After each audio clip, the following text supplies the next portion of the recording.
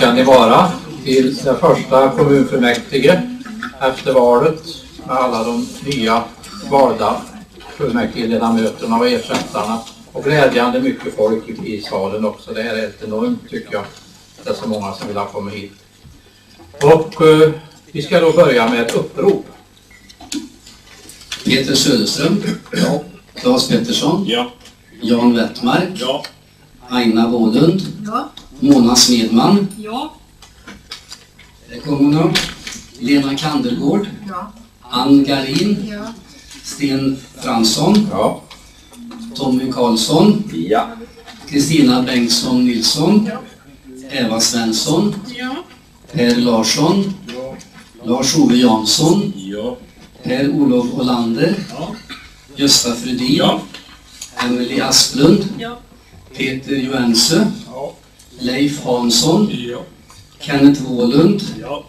Carina Dönström. Ja. Kristina Wallin Olsson. Ja. Nils-Gunnar Andersson. Har vi Jenny Bokvist här. Ja. Varsågod Jenny, ta Nils-Gunnars plats där. Du hittar. Yes. Mm. Börje Wahlund. Ja. Camilla Gustafsson. Ja. Lisa Levin. Har vi Rickard Dahlin här. Har vi Maria Rönnehäll här. Ja. Varsågod och ta Lisas plats här framme bredvid Camilla. Anders Söderström. Ja. Johan Andersson. Ja. Marie-Louise Johansson. Ja. Lisbeth Jarnbro. Har vi Karl-Erik Wilén här. Ja. Varsågod ta Lisbeths plats där. Mitt i någonstans. Bredvid Marie-Louise där, hon visar dig. Mm. Linda Jonsson. Ja. Håkan Givesand. Ja. Kerstin Svensson. Ja. Robert Aronius. Ja. Lisbeth Öjstrand. Ja. Gert Reimel.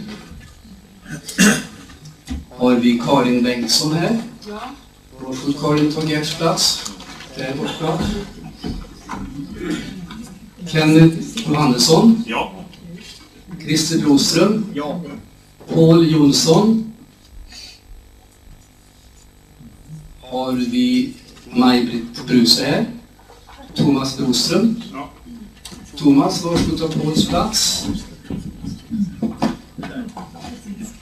Gerd Karlsson. Jonas Ås. Kerstin Nord. Eva-Lisa Schala. Ja. Ingela Jonsson. Ja. Jan Westergren. Henrik Axelsson. Linda Hjalmarsson Fjällstad. Ja. Leif Björnlod. Ja. Stefan Jonsson. Ja. Mattias Forsberg. Har vi Kersti Lundin här. Ja. Varsågod Kersti, ta Mattias plats där uppe längst bak till höger. Ja. Då är vi, vad vi kan förstå 49 ledamöter här. Så det är alltså 49 röstberättigade personer här just på det här mötet. Då ska vi gå över till nästa fråga. Jag fick fullmäktige, gamla fullmäktiges uppdrag kalla er samman. Men det har jag därmed gjort. Och därmed är det uppdraget slut. Och då behöver vi utse någon som kan leda mötet fram till dess att vi har valt ett presidium. Varsågod Anders Söderström. Jag är föreslagen att leda det mötet. Finns det ytterligare förslag? Kan vi ge mig det uppdraget? Ja. Vi har gjort så. Och då går vi över till val av justerare. Jag få förslag? Varsågod. Anders Söderström. Anders Söderström Peter Johansson. och Peter Johansson. Kan vi utse Anders och Peter att justera dagens protokoll? Ja. Har vi gjort det?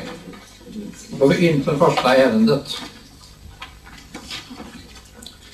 Och då har vi val av ordförande, förste vice ordförande och andra vice ordförande i kommunfullmäktige för mandatperioden från och med den 15 oktober 2014 till och med den 14 oktober 2018 tror jag. Och eh, då tar sig det här en sak i taget. Så vi börjar med att välja ordförande. Kan jag få förslag till ordförande i kommunfullmäktige för den perioden? Aina Wåhlund, varsågod.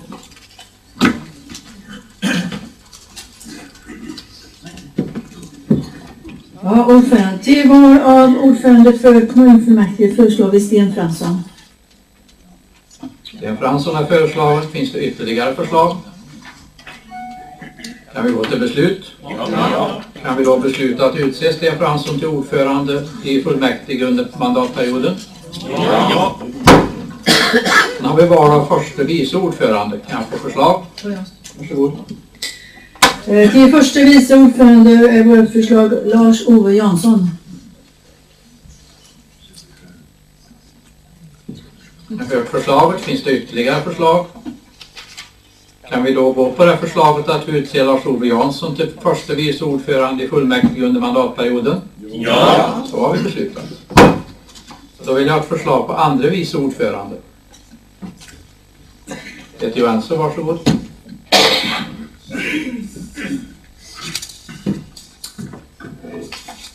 Ordförande. Till andre vice ordförande föreslår vi Jan Westergren. Moderaterna. Ja, ni har hört Peters förslag. Finns det ytterligare förslag? Är vi redo att gå till beslut? Ja. Kan vi då besluta att vi utser Jan Westergren till att vara andra vice ordförande under mandatperioden? Ja. Så har vi beslutat. Då får jag be mina vice ordförande att komma fram och ta sitt plats i presidiet.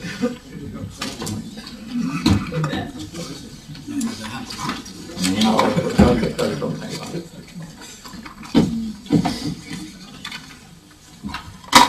Var?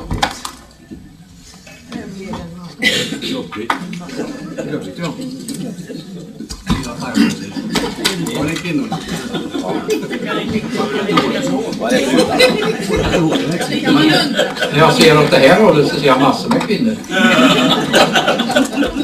Ja, det är vi som inte har den utsikten bara. Nej, eh, det är lite sorgligt, men så nära.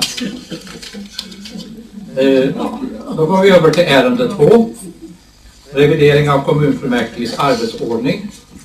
Och det här känner ni till att det har varit en ganska omfattande utredning av hur kommunfullmäktige ska fungera och även kommunallagen ska skrivas om. Och en del av det har nu kommit fram till en lagtext där man har ändrat i den tidigare kommunallagen just när det gäller kommunfullmäktige.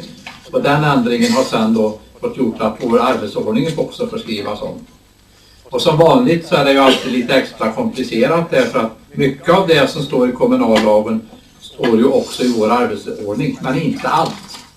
Så när man ska vara trygg på hur saker och ting ska fungera i den här församlingen måste man läsa både kommunallagen och vår arbetsordning. Och eh, ja, sån är världen. Det är väldigt komplicerat på just det viset. Men vi har här försökt att gå närmare den tidigare kommunallagen är skriven i alla fall så vi ska hitta de mesta och de mest vanliga problemen vi kan finna i arbetsordningen. Och då ser ni att det då finns ett förslag till beslut. Och förslaget till beslut är att kommunfullmäktige antar reviderad arbetsordning för kommunfullmäktige med tillämpning från och med mandatperioden 2014 till 2018 års start. Ja ja, för invecklad mening detta, men ni förstår vad vi menar i alla fall. Jag lämnar ordet fritt. Är det någon som har synpunkter? Jan Wettmark, varsågod. Jan representerar Moderaterna. Ja, ordförande. Eh, jag har ett, eh, en, någonting på interpellationen som jag tycker verkar lite konstigt. Sen är frågan om, om det ska bli en ändring av skrivningen vet jag inte. Men det står det att eh, en interpellation ska vara skriftlig, egenhändigt undertecknad av en ledamot och den ges in till kommunledningsstabens kansli två arbetsdagar före det sammanträde vid vilken ledamoten avser att ställa den. Och Ja, jag skulle på något vis vilja, det betyder ju inte, alltså när jag läser detta så om man tänker sig att jag ska göra en interpellation att- mot kommunalråd där, eller till rättare sagt och vad han ska svara på. Om jag lämnar in den två dagar före sammanträde så lär jag ju inte få svar på den. Dessutom står det att den som har lämnat en interpellation ska få svar liksom dagen efter i så fall att det är. Men det betyder, har jag förstått, att det är alltså registreringstillfället här alltså.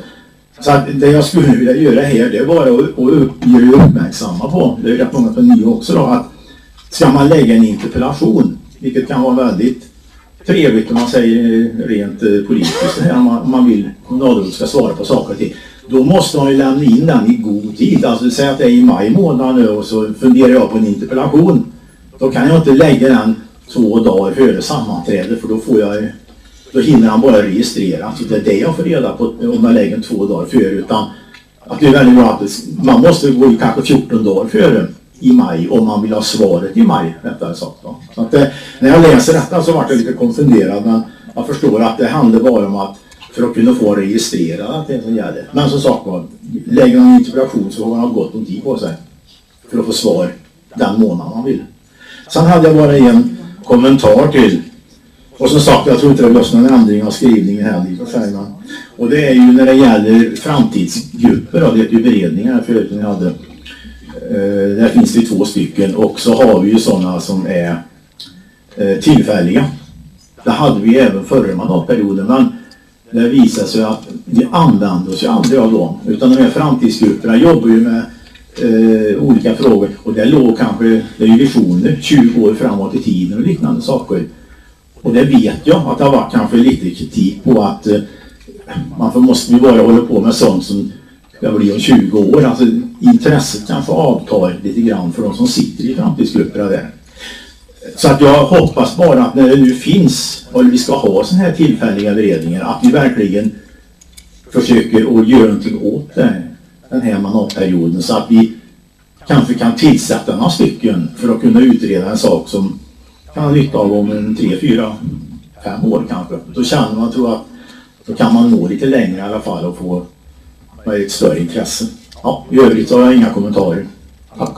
Tack så mycket Jan. Claes Pettersson, varsågod. Och Claes representerar Socialdemokraterna. Det är korrekt som Jan inne på när gäller interpellationen att det ska vara eh, frågor och svar kring, kring det hela. Men det kan ju faktiskt vara en interpellation som kräver en utredning, kräver kanske ganska eh, grundläggande arbete innan den får ett svar.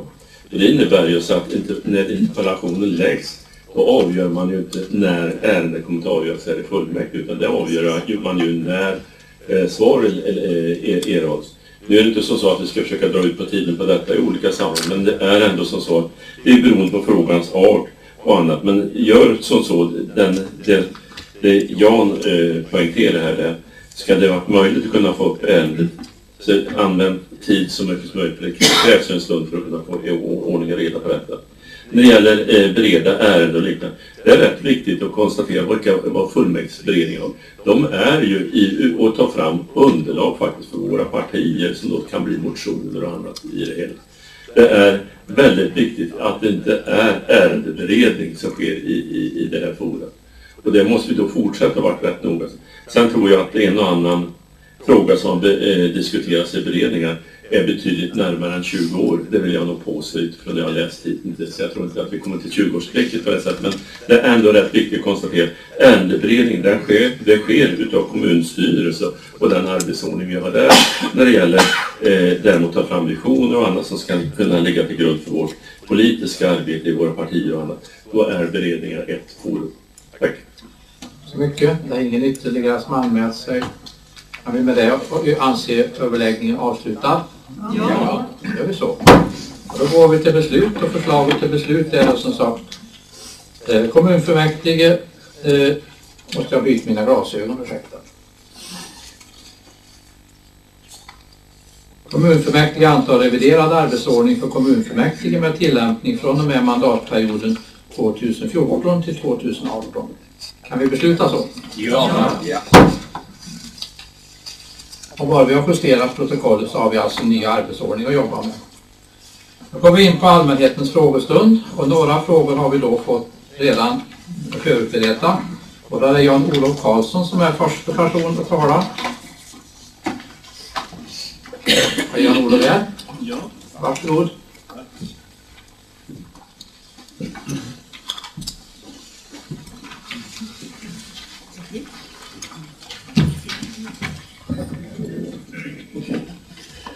Herr ordförande, Claes Pettersson och församlade. Vi har ett arbetsprojekt på gång i Arvika, riksväg 61 som vi ska byggas om. Och där har vi försökt att komma med synpunkter för att få det här att bli bra. Och Högvaltakorset är ju då ett ställe som har varit lite krångligt. Och vi har, försökt, vi har kommit med mycket synpunkter och det har faktiskt blivit så att det som har skickats till Arvika kommun skickas vidare direkt till Trafikverket utan åtgärd. Och det tycker vi är lite konstigt att inte Arvika kommun har några krav på hur man drar vägen genom exempelvis Högvalta. Och eh, jag var alltså inne och tittade i biblioteket på den här ombyggnadsdelen och då står det att jag har lämnat information.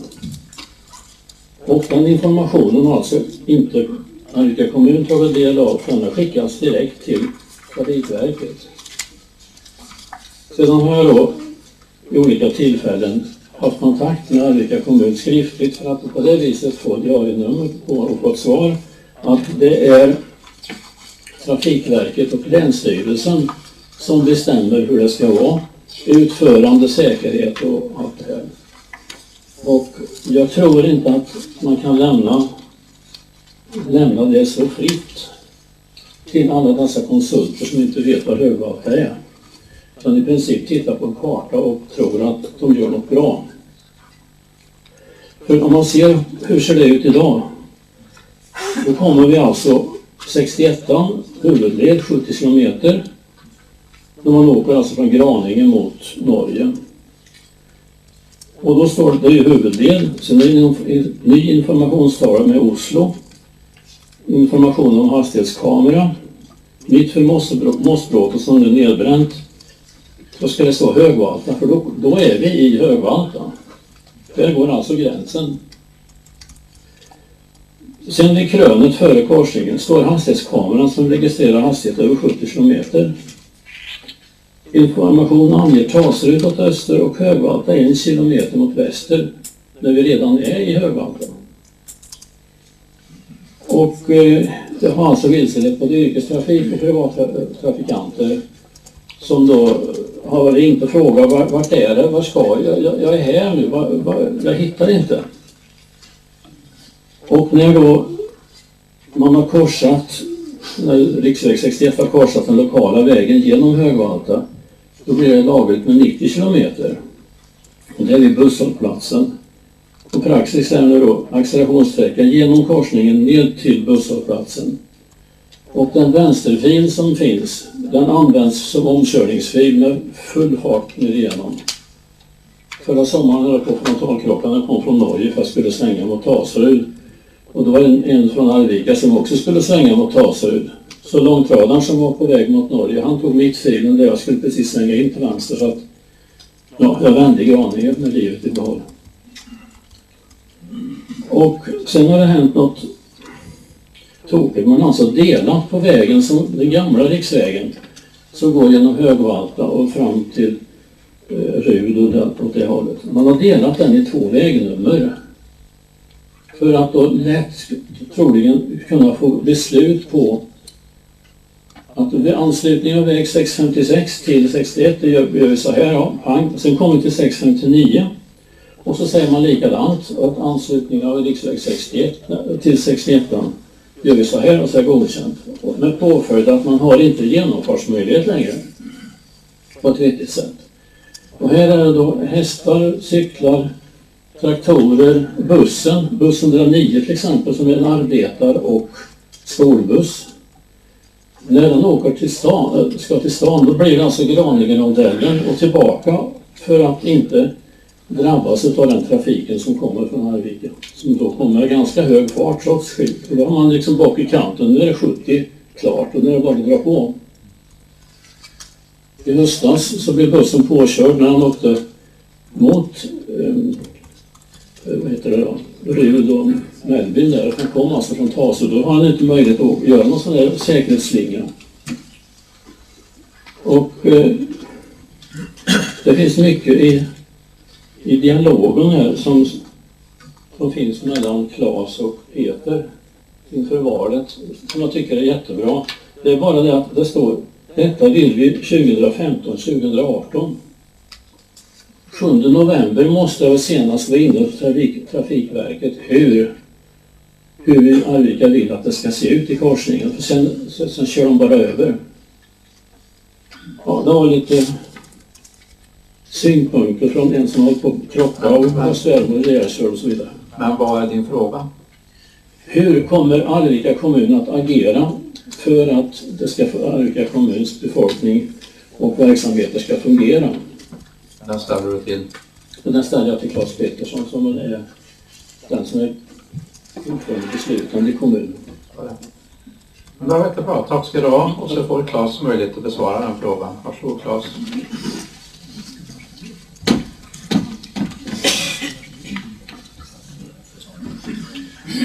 Jag kan konstatera så att när det gäller att bygga vägar finns det väldigt, väldigt många olika uppfattningar och liknande. Men i det här vägen är det faktiskt så att det här är en riksväg och det är Trafikverket som är huvudman och Länsstyrelsen tillsynsmyndighet.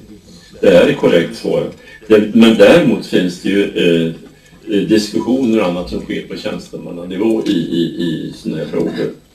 Men det är ändå som så att eh, regering och riksdag har gjort detta väldigt tydligt och det är i det här sammanhanget har det till och med varit ifrågasatt överhuvudtaget om kommunerna ska varit eh, involverade i den här delen utan de har ett annat, riksvägar har ett annat intresse än, än, eh, än vad vi har i den lokala planläggningen. Men eh, som sagt det, det beslut som är det korrekt svarat och de har svarat sig att det är Trafikverket och Länsstyrelsen som, som har det här uppdraget och, och då är det Trafikverket som ger förslag, förslag till Länsstyrelsen. Eh, det är de som då eh, följ, eh, ska titta på överklagningar och liknande. Att de följer de gällande eh, lagstiftningarna. Och det där gör ju att eh, det här är inte helt enkelt. Jag har ju pratat, det är inte bara du utan det är ju rätt många efter den här vägsträckningen som har varit i både kontakt med mig och rena andra. Vi har haft diskussioner vid något tillfälle med tjänstemän på, eh, inom eh, Vägverket. Men det är ändå som så, det är de som äger beslutet och det är regering, riksdag slutligen som ska, eh, som ska eh, avgöra de här frågorna. Och där vi har då haft eh, kanske den tyngsta punkten, det är att kunna hitta en planskild forskning för de oskyddade trafikanterna som det kommer att bli i det här området. Det har varit en av de tyngsta punkterna som vi har berört i de dis diskussioner som vi har fört med dem. Sen innebär det att eh, det blir en viss förbättring till fyrfältsväg istället för trefältsväg. Men det är som sagt var, den här trafik, eh, den här kameran stället, då lugnar sig trafiken ganska rejält. För Förr var det än i det här området. Det är inte ett enkelt ställe, men det är som så att den bedömning som har gjorts av de som, Eh, eh, som, som har gjorts är att det är en förbättrad trafiksituation. Dock är det som så att det finns fler än en som tycker att detta borde göras några steg ytterligare. Men det här är så långt som förslaget ligger och eh, här har ju varje kommuninvånare rätt att överklaga det, det förslag som Trafikverket har. Och sen är det slutligen så är det ju myndigheter som det här ska, ska pröva detta om det eh, gillar kring det. Men det, det som vi har sett som så som vi är positiva kring det här eh, delen, det är ju framförallt att det är en, att de oskyddade trafikanterna får en planskild korsning. Det är det mest positiva i den här byggnationen. Men det är en som sagt var, det är som så att vi, när det gäller de här ärendena så är det Trafikverk och, och eh, och, och Länsstyrelsen som är tillsynsmyndighet. Där vad vi gör, vi kan ha dialoger i olika sammanhang. Och det har vi haft framförallt för de oskyddade trafikanterna. Så, kan vi då lägga frågan och svaret till handlingarna? Ja. ja. Nu har vi gjort det. Sen har vi Greta Åsberg som har en fråga hon vill ställa. Varsågod Greta.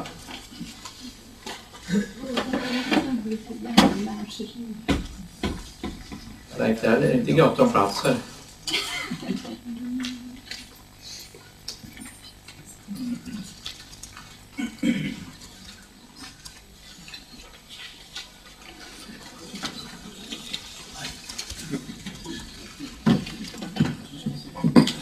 Ja, jag heter Greta Åsberg och jag bor på Viksgatan 31. Och min, det skulle handla om sand och ljus. När jag ser ut idag, då är ljuset tänd. Efter fyra veckor har vi gått där i mörker och, och stapplat i gamla människor. Och då tänkte jag säga så här, är det så ni vill bli med, av med oss? Att vi ska gå i mörkret? Men så plötsligt så blir jag räddad idag. Och är det du Claes som har gjort din sista goda gärning? jag, jag, jag blev så förvånad att någon har skvallrat på att jag skulle framföra det. Ja, men så är det. Eh, men då ska jag ta det här med sanning. Förra, för vintern tittade jag ut och skulle gå och handla. Nej, det gick inte. Det var som eh, alldeles blankt. Jag bor i hörn inne där om ni känner till Viksgatan 31. Andra dagen likadant. Kunde inte bor där. Tredje dagen, men man har ju mat i kylskåp och sådär så jag klarar mig ju. Och sen kom det en traktor med eh, uh, sandkärra efter. Den bara sladde där inne på gården och släppte upp där och släppte uh, sandkorn här och där. Och det var ju så långt emellan så jag fick ju, jag är ju så kort, då skulle jag kliva där mellan dessa han hade satt upp. Och jag kommer fortfarande halvkranatvis för jag är ju bara 1,57 eller något sånt. där. Så då har jag ett bra förslag. Att ni ställer er sandlådor där inne i hörnet. Men det ska inte vara sån här lita låg sandlåda utan den ska vara i den här höjden. Så att vi gamla bara kan sträcka ut handen där och ta sand och ta med oss sanden. Och ställ gärna sandhinkar i det förrådet där nere. För där står bara min rullator. Den går jättebra. Ja, vad ska jag säga mer om sand? Ja, det blir bättre. Men Claes! Mitt hjärta. ja, jag tänkte när du eh, kom in i min bild på en handelsmöte. Och du pratar inte värmländska. Nej, nej, det där, nej, det där klarar inte jag. Men då bodde ni på Slöjdvägen och jag bodde vid Ställvägen. Och så hade vi följe hem. Och så upptäcker jag vilken karl det var. Det är ju riktig. Och, och du pratade så som jag ville höra om kommunen och allt det där. Så då lärde jag mig att tycka om det. Och det gör jag än mycket. Trots dina fel och brister, trots mina fel och brister. Då har vi alla som sitter här. Och eh, vad var jag så säga? Jo, Claes, kan du komma fram till mig? Ja.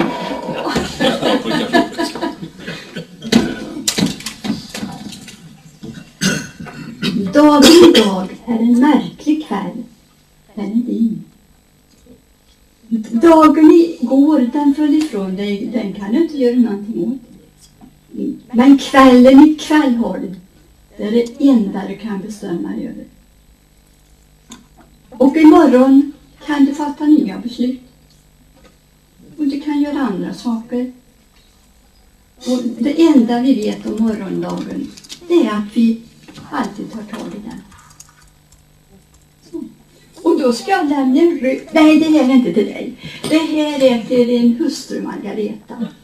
Som har, att jag förlo- fått låna den för dig. Som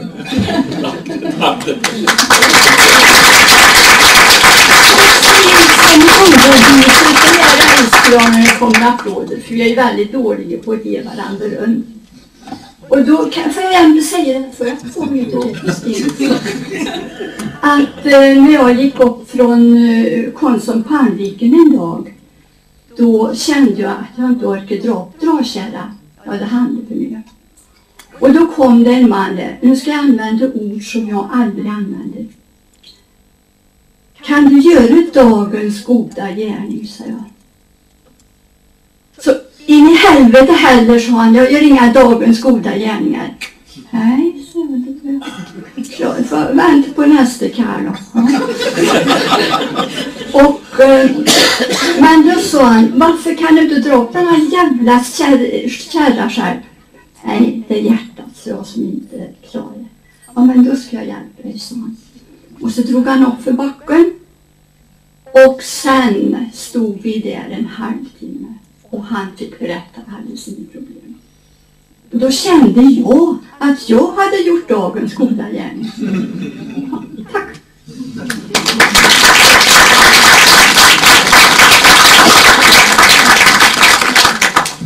Ja, vilka, vilka frågor jag ska svara på det vet jag inte, men det är en enkel ut i alla fall. Men tack, tack så du ha Greta, du är en gammal kompis och det, det känns gott. Tack så. Vi vi ska till Riksgatan, det är, är fastighetsbolaget. Så är det. Ja. Då är det som så att då har du väl någon eh, VD eller annat i det fastighetsbolaget som kan ta, ta med sig och se till att du får en, san- en, en, hink- en, en hinkljus. Ja, det är bra. Mycket kan vi då lägga frå- frågan, frågan och hyllningen och svaret till, till handlingarna. Har vi någon mer i allmänheten som vill ställa en fråga nu? Ja, varsågod Erik.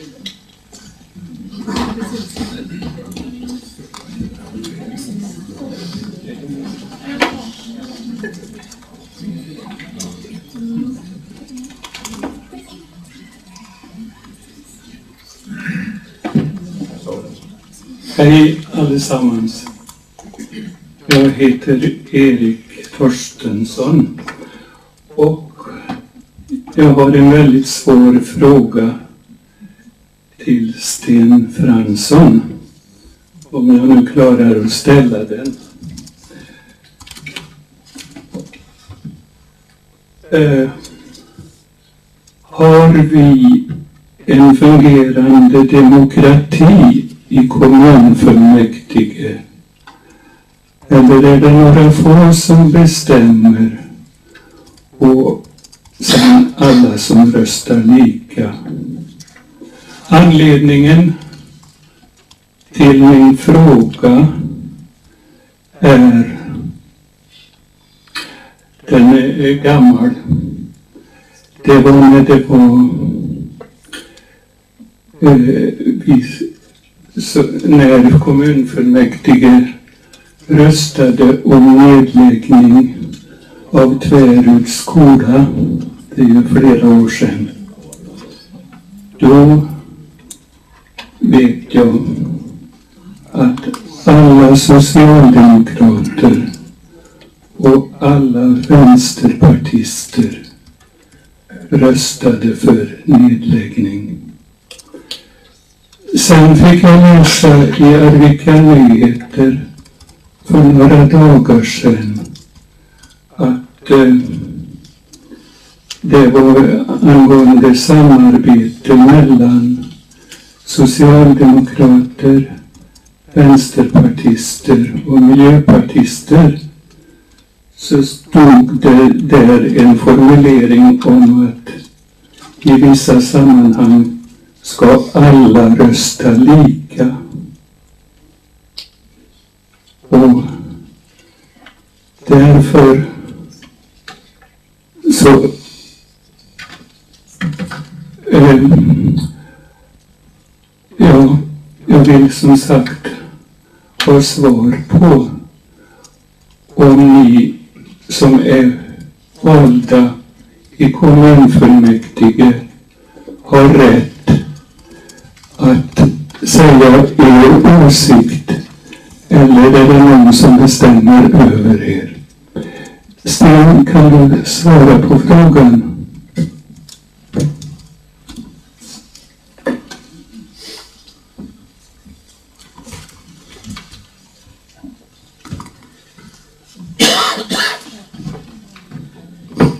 En väldigt filosofisk fråga du ställer. Vad är demokrati? Och där har vi minst sagt olika åsikter.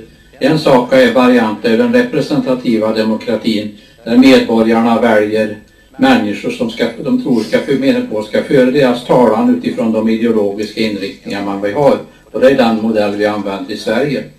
En annan variant är ju den fria demokratin så att säga, där varje människa enskilt står och har sin åsikt och inte blandar ihop på i partier eller grupper.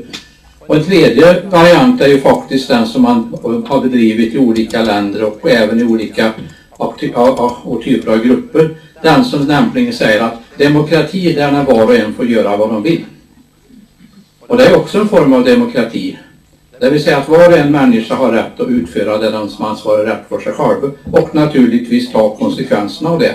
Men då har vi inte den förtryckarapparat som man pratar om med polis och med domstolar och med militär och med skolor och med allting annat som e- egentligen säger att vi ska egentligen jobba på ett annat vis. Så vi får ju börja och säga, om man svarar ja på den frågan, eller vilken demokrati vi har.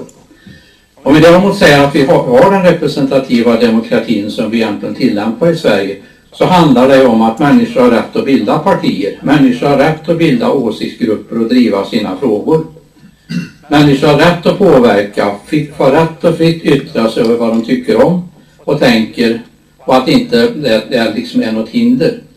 Man har också rätt att tillsammans diskutera sig fram en gemensam ståndpunkt i partier. För det vet jag att du är med i ett parti och där diskuterar man sig fram gemensamma ståndpunkter och det tycker inte jag är odemokratiskt att man gör på. Även om kanske var och en inte får riktigt det utfall den önskar sig av frågan. Så att eh, på det viset försöker vi jobba efter den. Och vi har en hög, hög ton i, i Arvika kommuns kommunfullmäktige. Vi är förmodligen det fullmäktige i Sverige där det är störst andel av ledamöterna som är i talarstolen. I snitt har vi ungefär 40 procent av ledamöterna under en, ett möte som är uppe i talarstolen och har åsikter och argumenterar och diskuterar. Så det är väldigt, det är ur den synpunkten så är det en bred, bred omfattning av demokratin. Vi försöker lyssna till medborgarna vad de säger genom att gå ut och jobba med våra framtidsgrupper som just har som uppdrag att gå ut, samla medborgarnas synpunkter på frågor som kommer. Kanske inte just de frågorna som är aktuella just nu, utan vad de kommer och på det vis vägledarna på politiska partier i vad medborgarna ser som problem och möjligheter. Och då, då får vi då kunna ge att vi kan ge en inriktning på vad vi vill. Och normalt sett varje mandatperiod så pratar vi i våra framtidsgrupper med mellan 4 och 5 000 invånare i Arvika om vad de har för önskemål och tankar på framtiden på olika områden. Det är vi också rätt så unika att ha den breda satsningen på att lyssna på medborgarna. Och det är också, vi gör det på många olika sätt för att möta folk var de är. Så på det här viset så fungerar den representativa demokratin. Vi väljs av medborgarna, det är fri val och rättighet. Vi, vi kontrollerar vad medborgarna tänker genom våra framtidsgrupper. Och vi fattar beslut genom att rösta om frågorna. Och när man då också bestämmer själva vilken åsikt man har. Och I många fall är man osäker kan man alltid begära sluten omröstning om man inte vill stå för sin åsikt inför de andra. Men det är ju normalt sett inte behövligt utan vi har pratat ihop oss så länge så vi ser att det ändå är det här som man står för majoriteten. Och då är det majoritetsbeslut. Alltså, Ofta fullmäktige så man kan man tycka att det här innebär att egentligen att det är en väldigt död församling. Därför att de flesta frågor har varit diskuterade så länge. Allt ifrån att diskussionerna har kommit upp kanske från ett medborgarförslag eller medborgarinitiativ eller något liknande och över till att ha kommit hela vägen upp till fullmäktige. Då är det en period som kanske tar år. Och det är klart, då har det blivit väldigt genomdiskuterat inom partierna och utanför partierna. Och tills man ändå måste komma fram till en ståndpunkt. Och den ståndpunkten är det inte alla människor som tycker om. Det ska vi ha klart för oss. Det finns inte något sånt som vi alltid är överens om allting. Men att det har, har det behandlats på det sättet då är det demokrati enligt den representativa demokratin som vi har i Sverige. Sen finns det som så många andra former och det just demokratibegreppet är bland det mest spännande man kan diskutera om rätten att tycka annorlunda men också rätten och möjligheten att acceptera att majoriteten vill ha en annan lösning än man själv har när man har tagit en öppen och ärlig diskussion i den frågan. Så det är mitt svar på frågan. Ja, i fullmäktige jobbar vi allt vi kan för att det här ska vara en representativ demokrati i vår stad.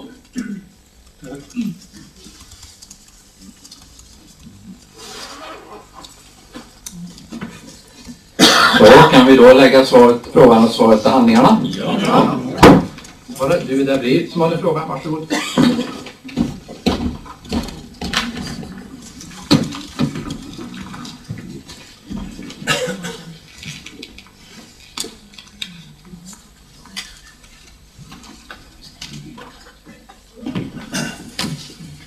Snäll och presentera dig också?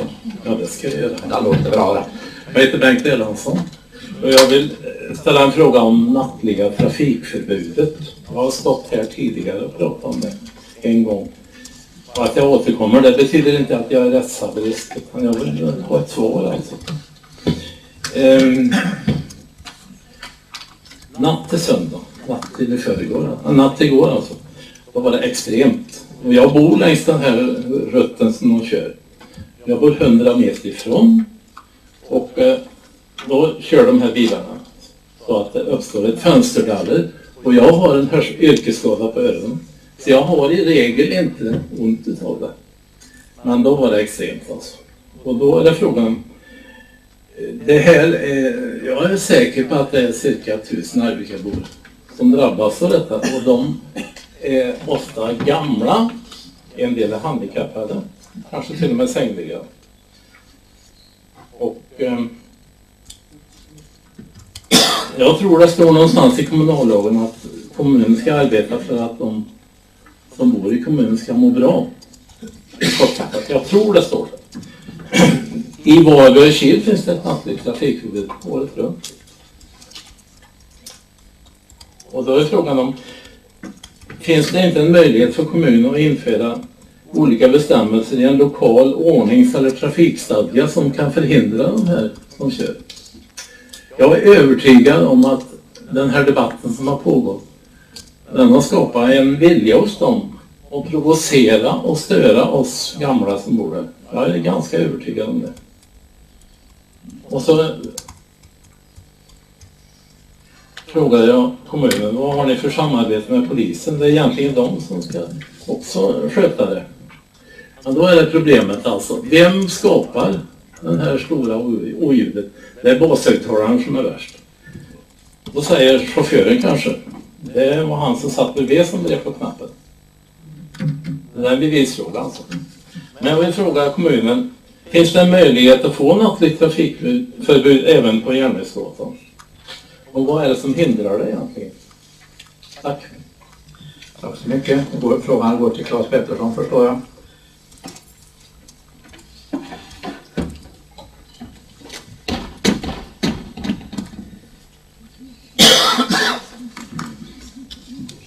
Ja Bengt, i det här problemet är det, det på, på, som tandverk för oss bägge två, men på olika sätt kanske. Det är inte samma väsen för mig i Glava givetvis som det är för dig i stan.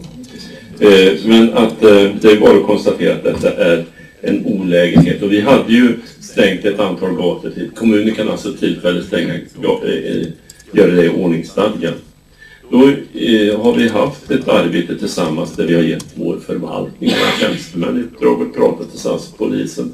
Vi hade även då, eh, vi bjöd in polisens eh, eh, chef, polisen här i Arvika till oss i, i KLU och diskutera frågan. Jag kan väl säga så här utifrån utan att ta i för mycket kan jag säga så här att vi har jag vill, vi har utredningar under sommaren. För vi, vi, det var en olägenhet. Det kände jag att då var det ju lugnare i sig själv. Sen efter en dialog då säger polisen så här att vi har inte, eh, vi har sett att det har blivit betydligt lugnare. Det problem, problemet är mindre. Och utifrån detta så fattar vi beslut att, att vi ska att vi eh, tar, tillbaka, tar tillbaka det tillfälliga beslut som vi hade om att stänga ett antal eh, gator i stan och istället eh, ger förvaltningen i, under vintern för att det skulle vara lugnare, ge dem ett uppdrag och eh, jobba om Eh, de ordningsföreskrifter. Det är inte bara den här delen i ordningsföreskrifter. Det finns fler delar i ordningsföreskrifter. De är relativt gamla. Så vi behöver gå igenom och modernisera. Men den här delen, se hur kan vi få detta, eh, eh, stoppa detta. Vi gjorde ju en grej för ett antal år sedan.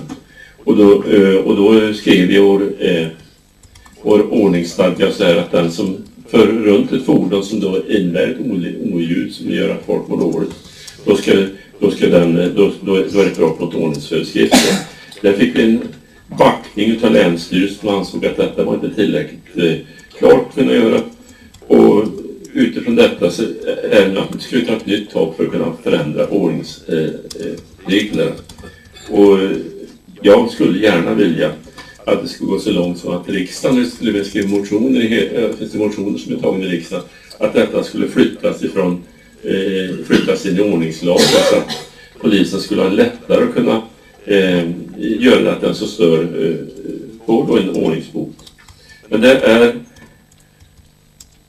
men jag är försiktig säga, det är ett av de jäkligaste problemen vi har i Arvika. Och det är många, många människor som lider på precis samma sätt som dig. Det är ingen bra förklaring. Utan det här måste vi försöka komma till rätta med. Och jag tror att din beskrivning över hur människor reagerar, över en del av dem tycker att det är en, nästan en liten kul grej att göra. Det, det är skamligt egentligen att de väcker folk mitt i natten och liknande. Du, du pratar om pensionärer. Jag, jag kan säga så att det är inte en utav det säkert hundra som har ringt och pratat med mig i olika sammanhang. Det är både de som ska upp till jobbet på morgonen som kanske får kvar till vakna halv natta också. Så det här är ett jätteproblem och vi, vi måste hitta en lösning. Vi har, typ, ta till exempel som de har alltså stängt vissa gator. Det har vi gjort också. Vi har stängt Kyrkgatan och Storgatan för trafik nattetid. Sen om det här behöver utvecklas till exempel mot Järnvägsgatan, då är det problematiken som blir det ungefär som att trycka på en ballong. Blir trycken på ett ställe så blir den tjockare på ett annat ställe och så blir det problem på ett annat, på ett annat ställe i kommunen. Då, vi kan säga när vi hade förra året när jag hade stopp, då hade vi ett jätteproblem nere med eh, Fordonsmuseet och där som man eh, och, och, och förde lys. Så det, där, det är ett problem och det är ett otyg att folk inte ska få sova i lugn och ro i Arvika.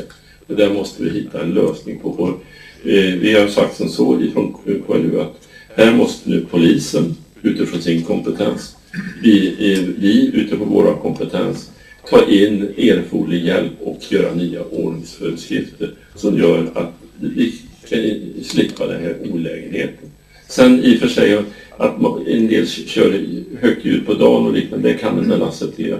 Men det där att vi ska hålla på på natten, det är absolut, absolut inte acceptabelt enligt min uppfattning. Så mycket Claes. Kan vi lägga frågan och svaret till handlingarna? Ja. Undrar om det finns någon mer allmänhetens fråga som vi har rätt att vänta på? Förlåt, ja. Ja, okej, okay, varsågod.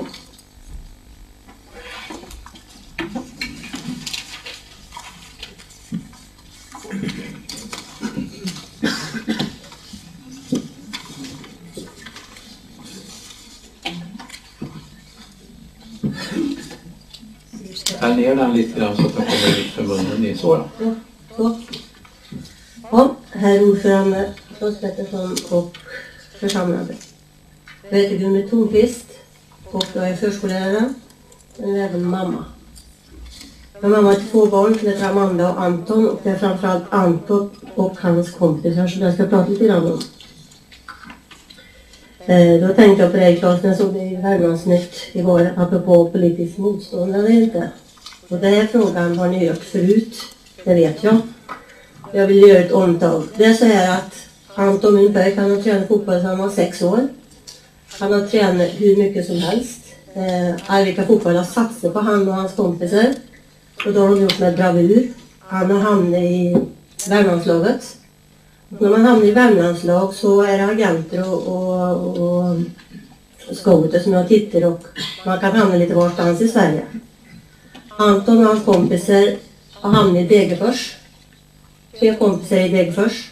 Och Anton i Osby. Osby är alltså ett nystartat fotbollsgymnasium. Jonas Tern, lagkapten 94, är ledare.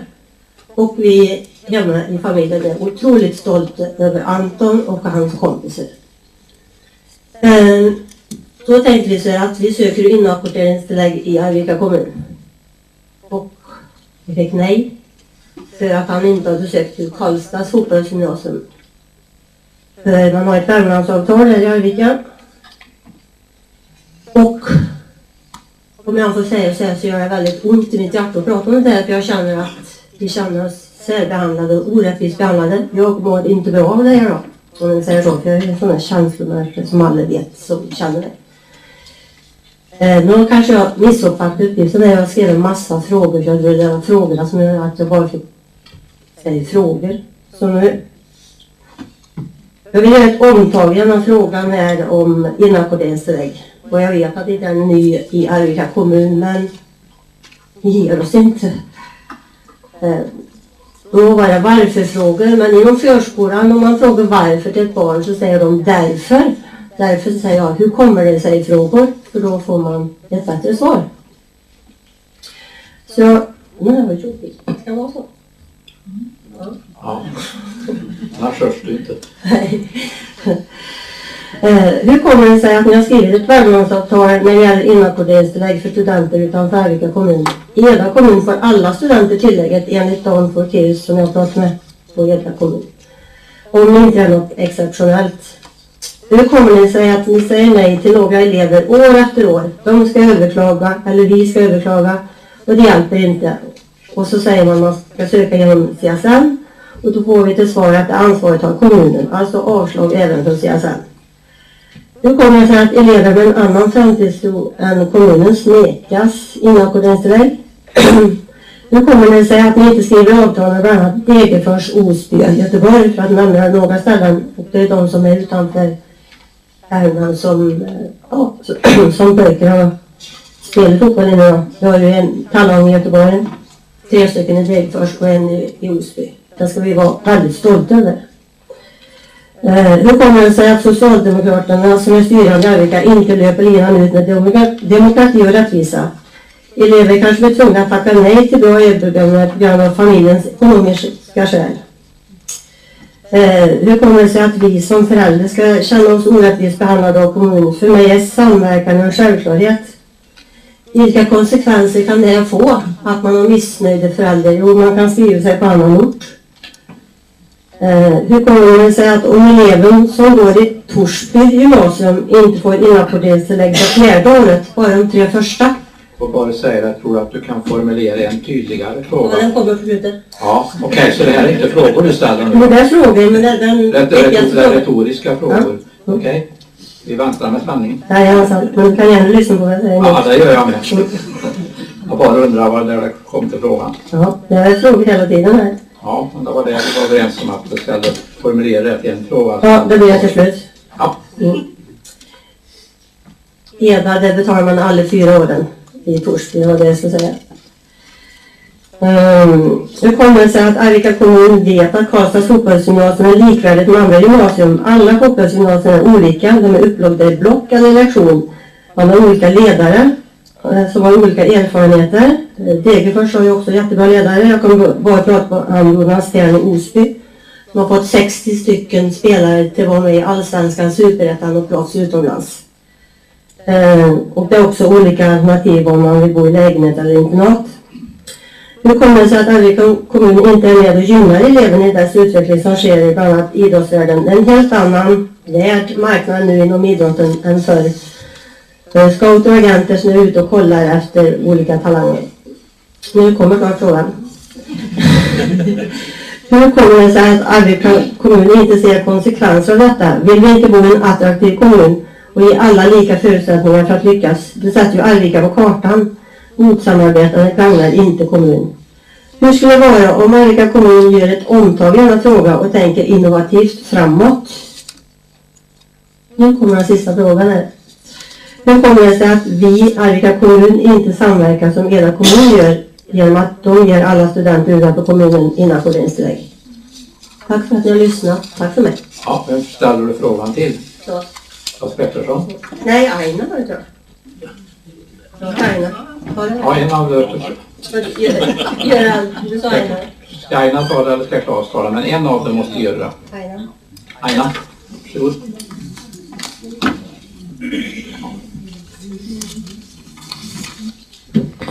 Ja, ordförande. Det var många frågor som du har i det här och jag vet ju också, jag ser ju i papperna att du har lämnat in ett medborgarförslag i det här. Så jag tycker att för att du ska få ett fullödigt svar i det här så tar vi det här som ett medborgarförslag och så får du svaren där om det är, känns okej. Då gör vi så. Kan vi då lägga frågan och svaret till handlingarna? Har vi mer bland allmänheten idag? Nej. Kan vi då gå vidare till interpellationsdebatten? Och där har vi ingen interpellation som ligger på dagordningen idag, så den lämnar vi snabbt. Kommer vi till enkla frågor. Enkla frågor är alltså frågor som ställs av kommunfullmäktiges ledamöter. Och där hade Tommy Karlsson när jag antecknat det. Varsågod Tommy.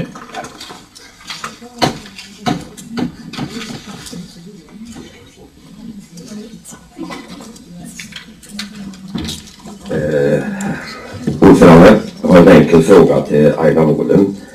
Stadshusgymnasiet har en utbildning med inriktning på VVS och el. Det är särskilt viktigt att man under första terminen får en bra utbildning i de båda yrkena. Så att man sedan kan söka vidare till exempel till, till fastighetsskötarutbildningen. Efter vad jag har förstått så har VVS fungerat bra. Men på el har man på nio veckor bara haft en vecka med lärare. Och då är frågan, vad beror det här på? Jag vet inte om du har några svar idag eller så tar vi God Aina. Så mycket Tommy.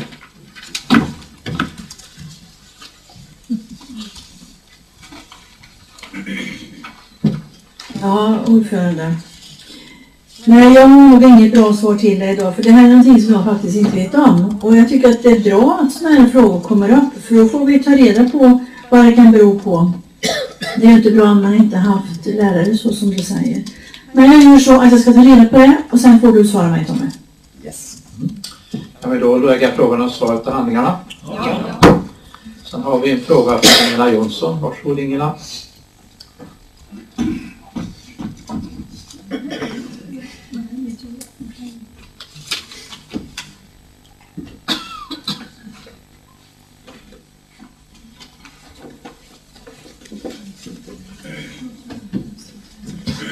Ordförande, eh, jag har en fråga att ställa till eh, Claes Pettersson.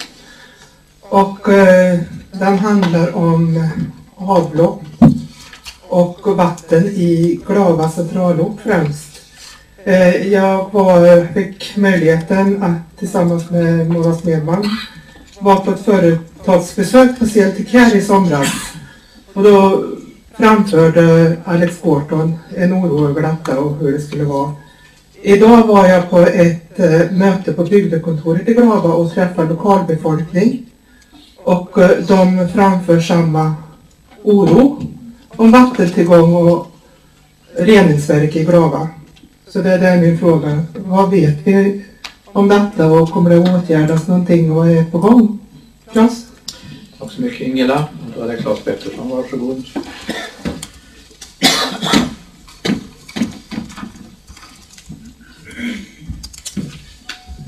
Avlopp i Glava är en specialgren.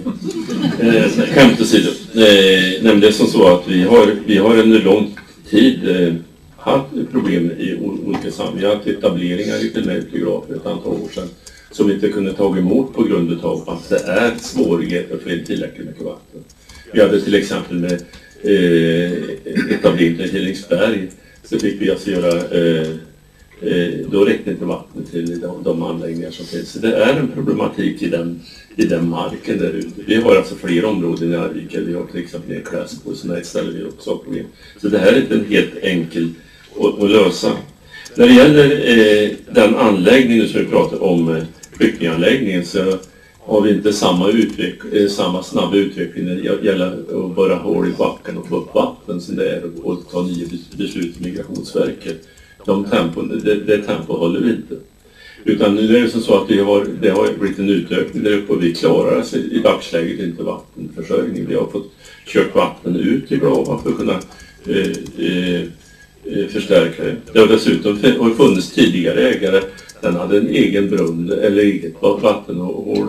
Det är då inte godkänt utan det måste vi alltså få en ny. Vi måste börja på ett annat ställe för att få fram detta. Och det, det är som så att eh, situationen kan vara så besvärlig att vi har, om vi inte hittar vatten av tillfredsställande kvalitet då är det så att de kanske måste dra en ledning över sjön helt enkelt att klara vattenförsörjningen ute. Så det, är, det du tar upp är ett jätteproblem eh, just i det, i det området. Och det är ju så att eh, det är ju kommunen som måste fixa detta på olika sätt. Men eh, Anders och hans medarbetare de jobbar på högtryck för att hitta en lösning. Men just nu så har vi inte tillräckligt mycket vatten i Glava. Trots att det är blött överallt där ute, det kan jag garantera. Så är det inte tillräckligt grundvatten och kvalitet, den kvalitet som vi har. Avloppssidan är något lättare men ändå så en problematik där också. Beroende på att eh, det var inte planerat när vi gjorde detta att vi skulle fördubbla, eh, fördubbla eh, de antal boende i Glava på mindre än ett år. Tack så mycket. Kan vi då lägga den frågan och svaret till handlingarna?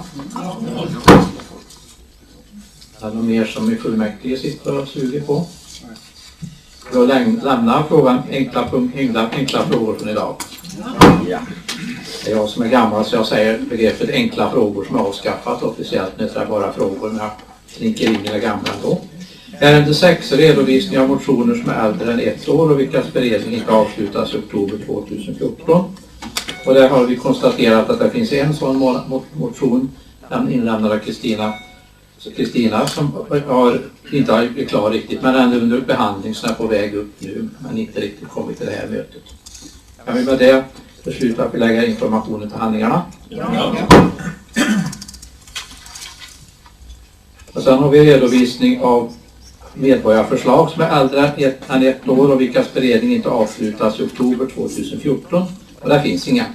Så att förslaget är att kommunfullmäktige tar del av redovisningen och lägger den till handlingarna. Kan vi göra så? Då går vi in på ett valärende igen. Ärende 8. Och det är då val av valberedning, ordförande och två vice ordförande för mandatperioden från och med 15 oktober 2014 till och med den 14 oktober 2018. Och eh, vi har alltså sju ledamöter och sju ersättare i, i den här valberedningen. Då ska vi börja med att välja ersatt, eh, ledamöterna. Och här vet ni att vi har gjort traditionellt en fördelning utifrån principen om proportionella val när vi tittar på det. Så att därför finns det då lite olika situationer. Jag kan konstatera med att eh, Socialdemokraterna hade tre platser. Vilka är de tre? Aina Wollum, varsågod.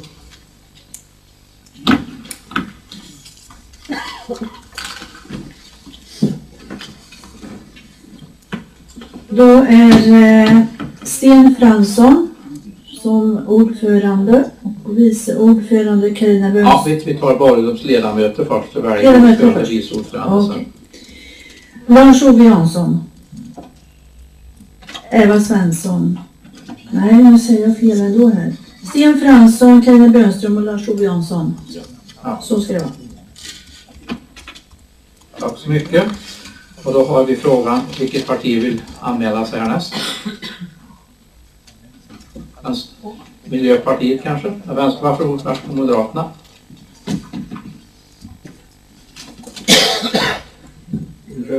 Från Moderaternas håll så anmäler vi Jan Lettmark. Och för Centern P. Olander.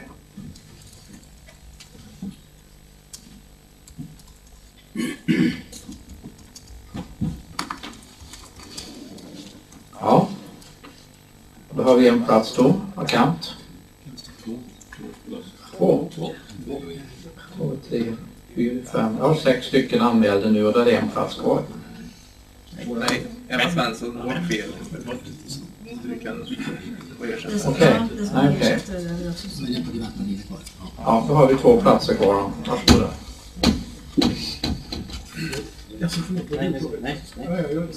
Jag var inte in förberedd på att det skulle ske.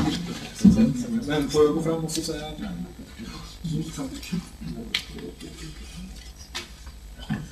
Vi ser att det hörs när jag pratar så. Hej, jag heter Per Larsson och representerar Miljöpartiet som en av tre stycken som är här då. Och eh, vi föreslår som till ordinarie platsen då Martin Peters. Tack så mycket. Då har vi en plats kvar. Vänsterplats.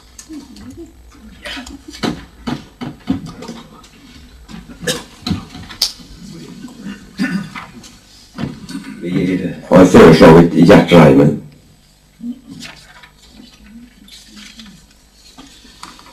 Och då kan jag se att följande personer har föreslagits till ordinarie ledamöter i valberedningen. Sten Fransson, Karina Bönström, Jan Wettmark, Lars-Ove Jansson, Martin Peters, E.O. Olander och Gert Reimer. Är det riktigt uppfattat? Ja. Kan vi besluta att vi väljer dem till ordinarie ledamöter? Ja. Då vill vi ha, välja förslag på ordförande i den gruppen.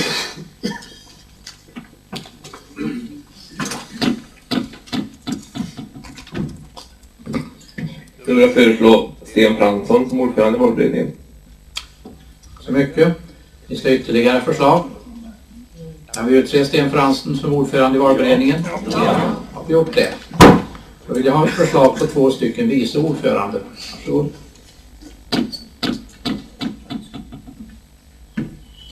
Då föreslå Carina Bönström som vice ordförande i valberedningen. Tack så mycket. Så ett ytterligare förslag. Peter, varsågod.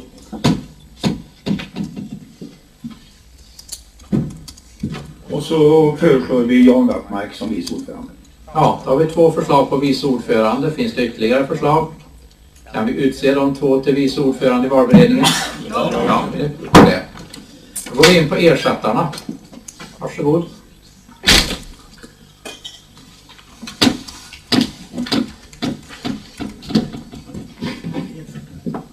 Då vill jag föreslå Eva Svensson, Kenneth Wåhlund, Marie-Louise Johansson som ersätter i valberedningen. Tack så mycket. Fortsätter. Varsågod.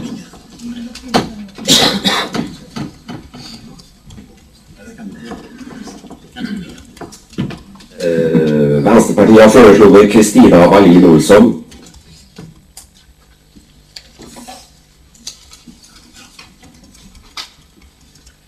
Ja, varsågod.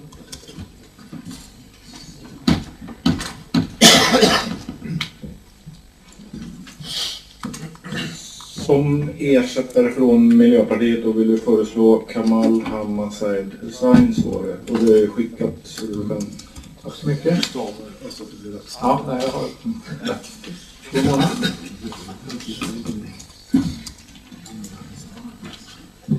Och jag föreslår Linnar Holgersson och Peter Johansson.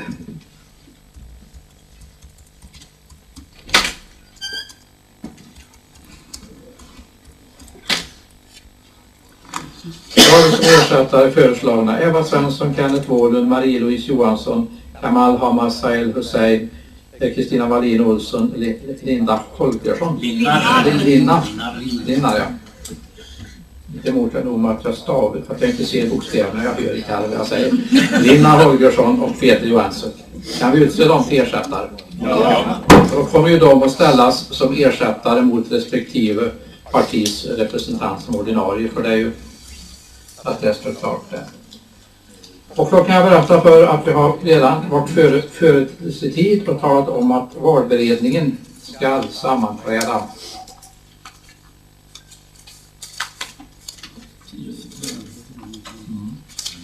den, den 12 november onsdag klockan 09.00 är var ska valberedningen samlas och ni kommer att få en skriftlig samling, inbjudan också naturligtvis.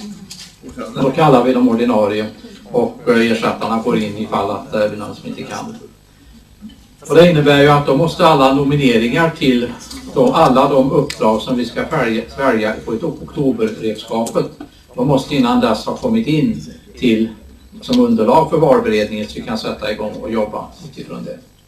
Så att eh, gärna i början av, av vecka 46 vill vi att ni skickar in alla sådana nomineringar. Och ni kan skicka dem till mig eller ni kan skicka dem till Göran Bryntesson, vilket som passar bäst. Så samlar vi ihop det tillsammans. Och någon som har begärt ordet? Nej. Nej. Eh, Sen har vi en, en praktisk samling och egentligen och, eh, och hur, hur vi ska hantera det här. Och det finns ju lite olika sätt när man jobbar i en valberedning. Men jag föreslår att fullmäktige beslutar att vi går efter principen partici- proportionella val i nämnder och beslut. Då har vi alltså ett system som är brukligt i det här sammanhanget. Och att vi använder det som en mall för att lägga ut på era respektive positioner. Och med det så kan vi då också få ett enkelt förslag från valberedningen. För det innebär att valberedningen i stort sett verkställer det som partierna anmäler att de har. Och är det någon som är osäker på hur många platser de har i det hela så säger ni till så tar vi fram ett beräkningsunderlag eftersom så ni kan se själva att med så här många mandat har vi eller vår grupp så har vi rätt till så här många platser i för olika former av nämnder och utskott som vi har beslut om. Kan vi göra på det viset? Ja. Då så. Har vi därmed gått igenom det ärendet. Göran? Göran?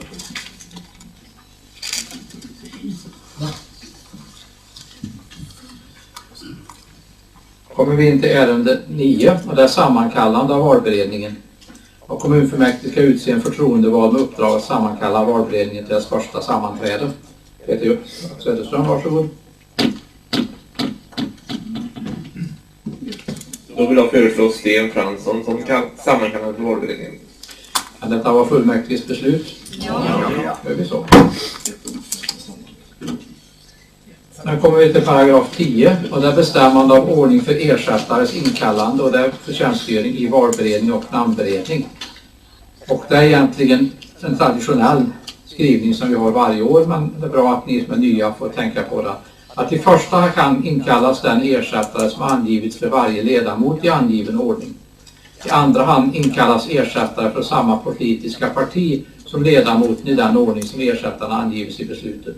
Och I tredje hand inkallas ersättarna i sam, från samma politiska block som ledamoterna i den ordning som ersättarna angivits i beslutet.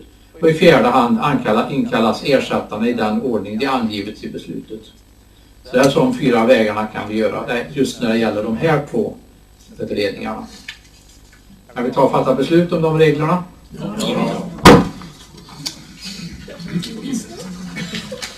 Ärende, ärende 11. Då går vi över till strategisk plan för 2015-17 samt budget för 2015. Och det är så att kommunfullmäktige fattade, gamla kommunfullmäktige fattade beslut om den här den 25 augusti 2014. Och, eh, men enligt kommunallagen ska alltså budgeten fastställas även av den nyvalda fullmäktige i det år val har förrättats i hela landet och det är ju i år. Och förslaget till beslut är då följande. Kommunfullmäktige beslutar att fastställa skattesatsen för 2015 till 20,90 per skattekrona. Finansiering genom leasing får ske inom en ram av 30 miljoner kronor under 2015. Kommunstyrelsen bemyndigas att göra uttag av fonderade medel för pensionsåtagande med 15 miljoner kronor år 2015. Höja investeringsramen för 2015 till 56 miljoner kronor. Anslagsbindningen inom driftbudgeten gäller för samtliga anslag inom kommunstyrelsens ansvarsområde. Inom investeringsbudgeten gäller anslagen per projekt och när det gäller investeringsanslagen per ändamål. Kommunstyrelsen har rätt att omdisponera anslag mellan respektive utskotts ansvarsområde. Respektive utskott har rätt att omdisponera anslag mellan verksamheter inom utskottets ansvarsområde. Inom investeringsbudgeten har kommunstyrelsen rätt att omdisponera med anslag mellan olika projekt inom en verksamhet. Respektive utskott har rätt att omdisponera medel inom reinvesteringsbudgeten. Över respektive underskott kan efter särskild prövning föras över till kommande verksamhetsår. Vi ska fastställa partistödet för 2015 till 11 810 kronor per mandat samt 8 045 kronor per parti, en höjning med cirka 2 procent. Vi ska bevilja stiftelsen Glasskogens naturreservat bidrag med 538 000 kronor för 2015, vilket är oförändrat jämfört med 2014 års anslag. Vi ska fastställa styrelsens förslag till förändringar av taxor och avgifter.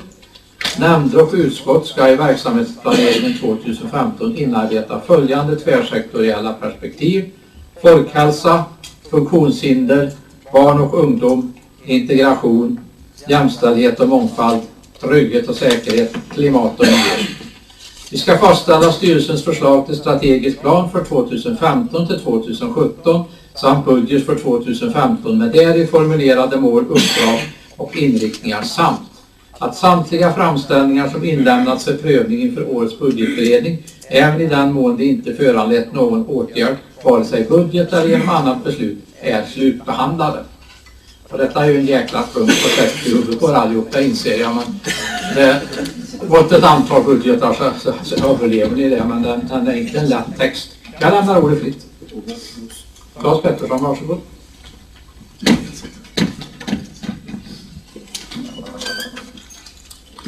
Nu ska vi visa bilder.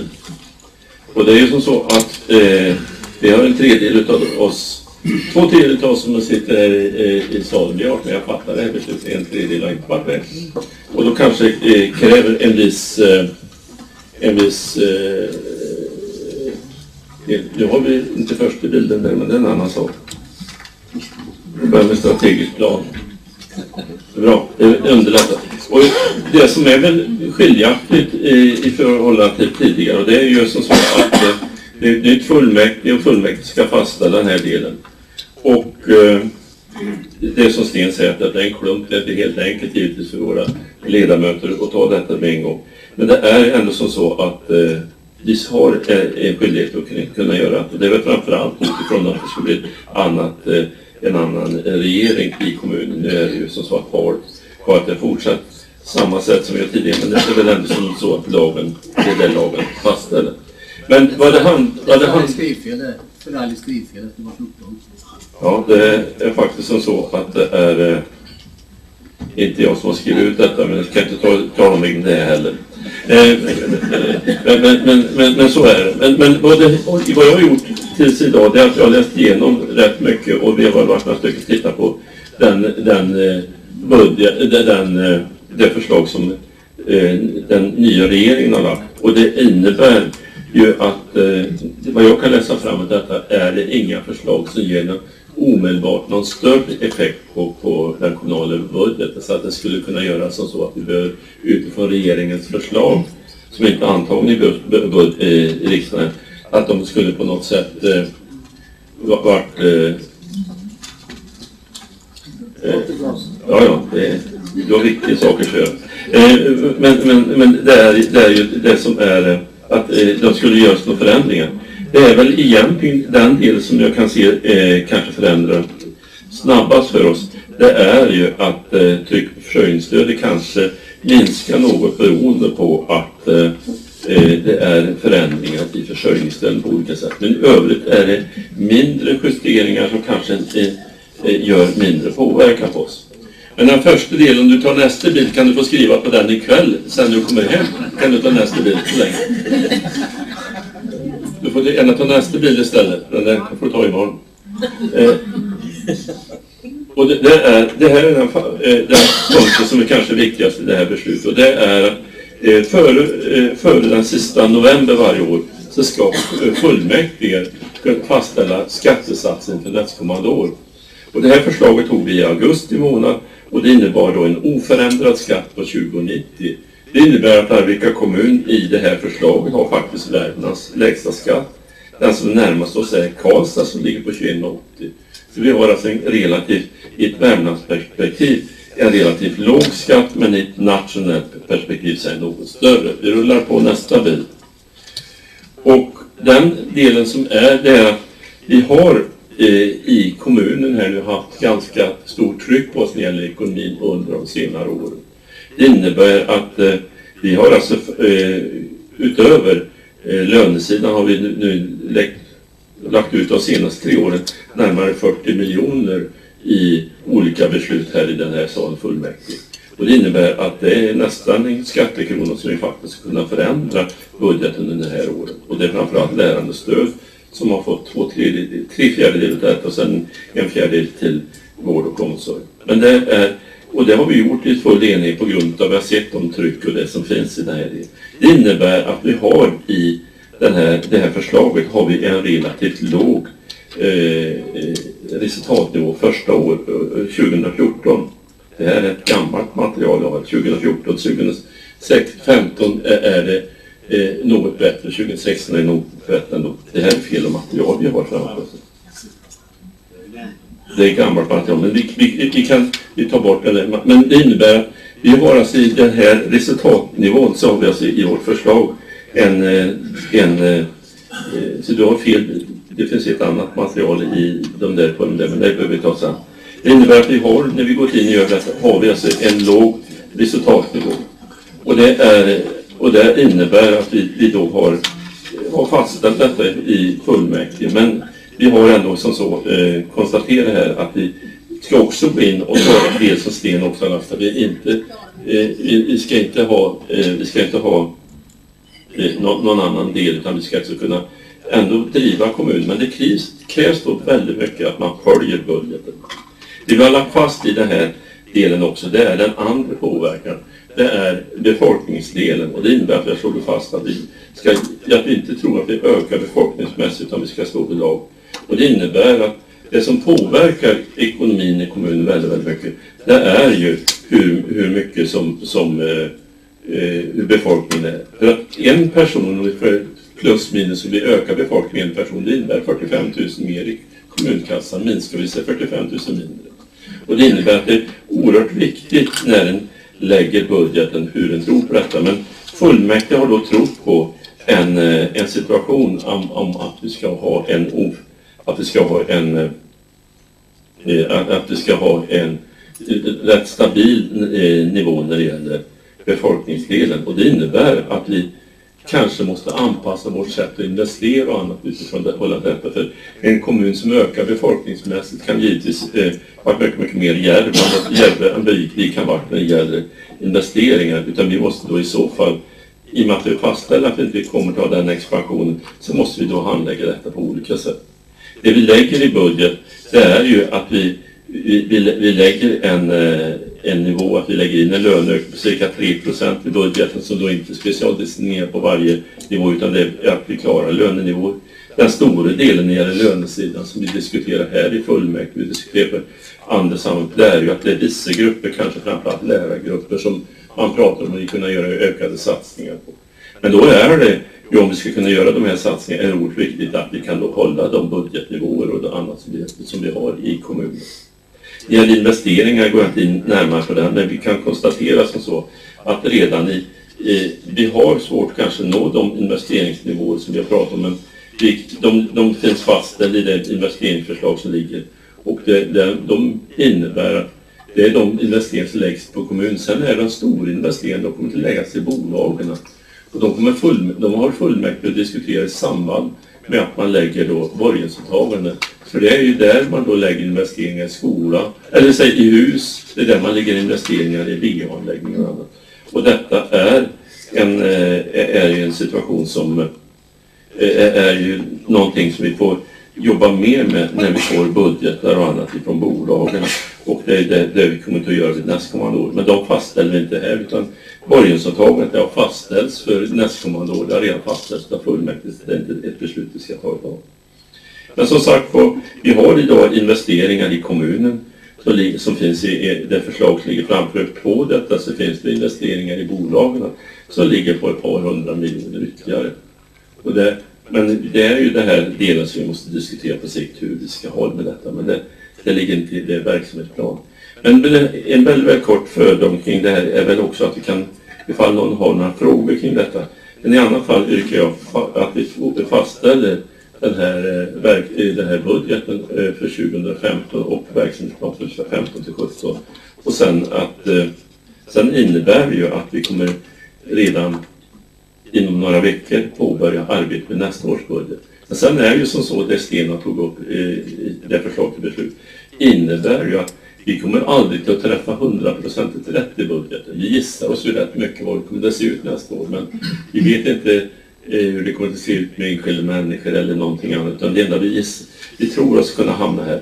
Men det är ju som så, det är därför det är viktigt hela tiden att ha ett instrument där vi rör pengar fram och tillbaka. Och då är ju tanken i det beslutet att det som läggs då på respektive eh, eh, utskottsnivå där kan man då flytta pengar inom sitt utskott. Men sen är det, klarar man inte detta, då kan då kommunstyrelsen också flytta mellan de olika utskotten. Men det är det vi har jobbat med under en lång följd av år. Det kanske kommer med ner, mer i nästa ärende. Det är att det gäller att hitta tidiga signaler med detta. Men jag tror vi har en bra eh, ekonomi, vi har en bra ekonomisk uppföljning i Arvika. Så där kan ni som nu kommer in i fullmäktige är ganska trygga i det arbetssätt vi har, har varit framgångsrikt. Men inget är så bra utan vi kan göra det bättre. Så nu är det bara för oss att den nyvalda fullmäktige och spänna, eh, eh, spänna musklerna och göra att den här kommunen blir än bättre i framtiden. För det yrkar jag bifall till det förslag som då en gång var antaget av fullmäktige i augusti månad.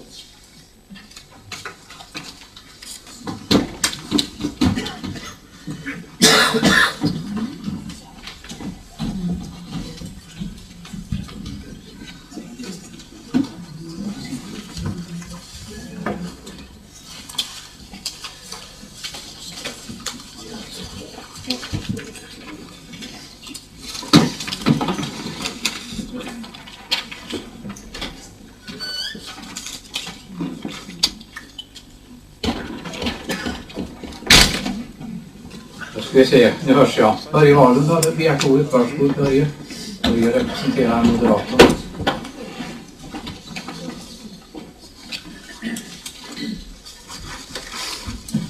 Herr ordförande, det var just det som Claes var inne på här med investeringar, hur det ser ut för hela koncernen Arvika kommun.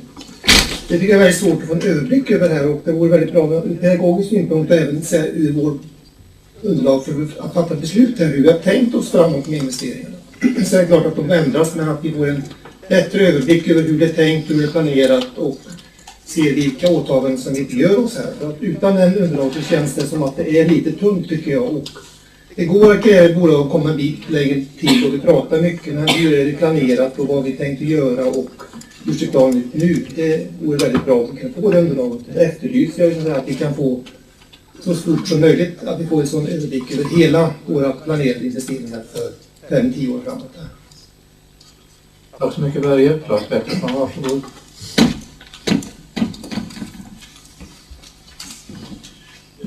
Den budgeten vi antar nu, det är ju den budget som vi gör för, för kommundelen. Sen är det det andra med bolagsdelen, där kan vi ju kopiera de handlingar som du fick i augusti. Där finns de med, de här investeringsplaner och annat, det finns ju med i det underlaget. Så det är, inget, det är, inte, det är inte något problem, utan det kan vi väl faktiskt eh, Eh, Göran se till att, det, att de kommer ut till ledamöterna här. Eh, då, då, den eh, investeringsplan som togs i augusti, där vi, tog, när vi fastställde borgensåtaganden. För då finns ju de här mer långsiktiga investeringar och liknande. Men det är ju som sagt var, det är ett digert arbete som har gjorts och, och vi har ju äntligen fått en, ett beslut när det gäller investeringar och eh, borgensåtaganden. Men det, jag tycker att det kan vara rimligt att den nyvalda fullmäktige får ut helheten. Det, det är helt riktigt, men det är inget vi behöver ta beslut om nu. Så mycket. Leif Björnlund, varsågod.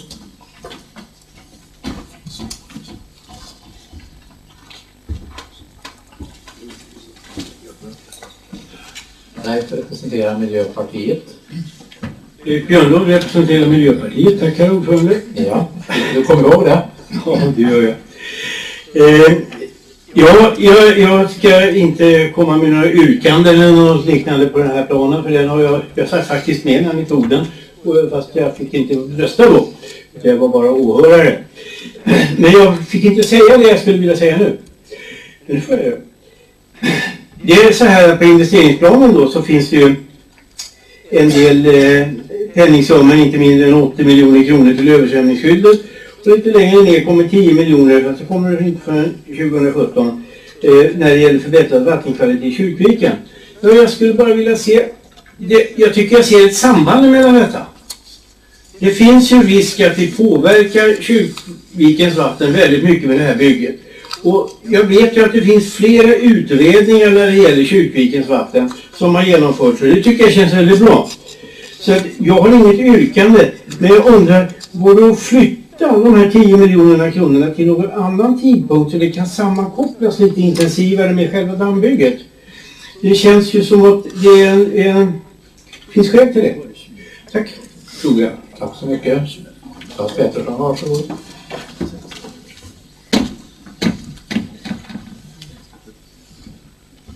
När, när det, eh, hur, hur det påverkar damm och eh, dammbygge och liknande. Jag tror det finns ingen automatik kring det hela men ändå ser det så det här med att kunna få bättre vatten i Kyrkvika, det är viktigt. Så det, det, det kan jag säga så att vi redan på tisdag nästa vecka så finns det en dialog där eh, våra tjänstemän är nere på Länsstyrelsen och diskuterar just den här frågan hur vi ska starta kring. För att det är ju, när det gäller dagvattensidan så är det ju tre eller du kan väl säga att det är några huvudflöden som rinner. Dels heter alldeles här nedanför tobaken som rinner ut här nere i Solbergholmen. Det är ju eh, eh, Sävsjökanalen. Det är ju bort, bortifrån det som blir Viksälven som är inne från Volvo-sidan. Du har bortifrån industriområdet och sen har du det som går ut i Kyrkvi, eh, eller Kattviken. Det är de fem områden som vi håller på att titta på. Och, eh, eh, där finns det lite idéer om annat, bland annat där, om att använda dukar och annat på vattnet och få längre väg ut för att kunna göra avfällning och liknande. Så att jag tror att eh, jag utesluter inte att det kan väldigt snart kunna komma fram förslag som gör att vi gör omprioriteringar just för att kunna klara vattnet i Kyrkviken. Det finns, det finns ett sådant arbete på gång. Så utan att vi behöver göra det här så tror jag att arbetet kommer upp så vi får göra en förnyad prövning. Så, nu är talarlistan tom. Är vi redo att gå till beslut? Ja. Kan vi då besluta, jag tänker inte läsa upp förslaget till beslut för er igen, utan det hörde ni för första gången. Kan vi då besluta i enlighet med det förslag som tidigare upplästes? Ja. Det har vi gjort.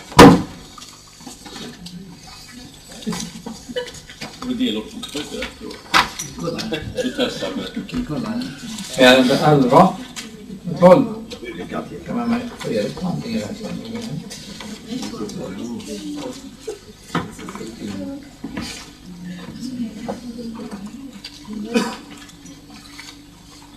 det ser, det ser ut att vara rätt. Kom, kom. Eh, Delårsbokslut 2, 2014. Och kommunförvaltningen har upprättat delårsbokslut för perioden januari till och med augusti 2014. I delårsbokslutet ingår kommunen samt de kommunala bolagen. Och förslaget till beslut är följande. Kommunfullmäktige lägger delårsbokslut 2 till och med den 31 augusti 2014 med godkännande av handlingarna. Kommunfullmäktige godkänner också om, omdisponering inom ramen för kommunstyrelsens investeringsram 2014 där ramen för Ingestrandshöjdens exploatering sänks med 1,6 miljoner kronor från 2,875 miljoner kronor till 1,295 miljoner kronor och förs till projektet Klässbol strand. Man flyttar alltså pengar från Ingestrand till Klässbol. För det så vill du dra en lite grann Claes om det hela? Varsågod, Claes Pettersson.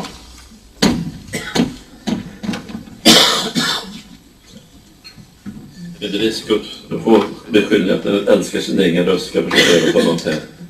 Men det är ju som så att eh, här har vi ju en problematik i det här, eh, det här resultatet som vi måste jobba med och det här är ju den grund som vi har när vi går in i det fortsatta arbetet.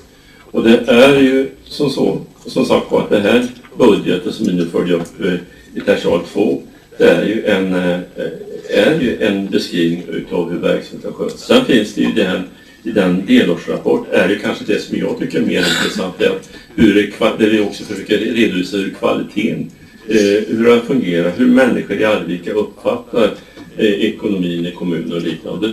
Och det är, och det är ju rätt mycket att läsa så jag tror att för er som inte är vana med fullmäktiges eh, arbetsordning och liknande är resultat är ju de här delårsboksluten en väldigt bra eh, läsning för att kunna se hur fungerar verksamheten, var är, eh, är de problemen och var är möjligheterna. Och det är ju också det som kan ligga till grund för när vi gör det fortsatta arbetet. Och jag vill ju påstå så här när vi lägger delårsbokslut att i huvudsak är det här ett väldigt, väldigt starkt bokslut. Vi har väldigt, väldigt, vi har mycket, mycket nöjda kommuninvånare på de förslag som ligger. Men inget är så bra i den här kommunen att det borde göra göra bättre. Men nu ska vi ta nästa bild.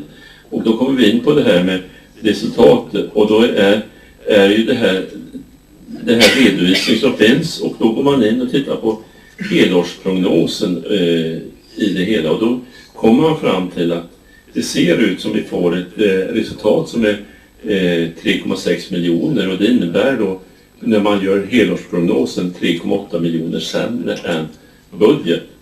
Detta är ju en problematik utifrån den eh, att vi har så små marginaler. Men där, eh, jag ska återkomma till den delen, men det här, ser, det här är ett delårsbokslut som togs i augusti månad. Jag kan konstatera utifrån de utfall vi har fått i september och oktober att det ser ut att gå till rätt håll. Så det är de, den, eh, det läge som vi hade vid det tillfället. Det ser något bättre ut i dagsläget.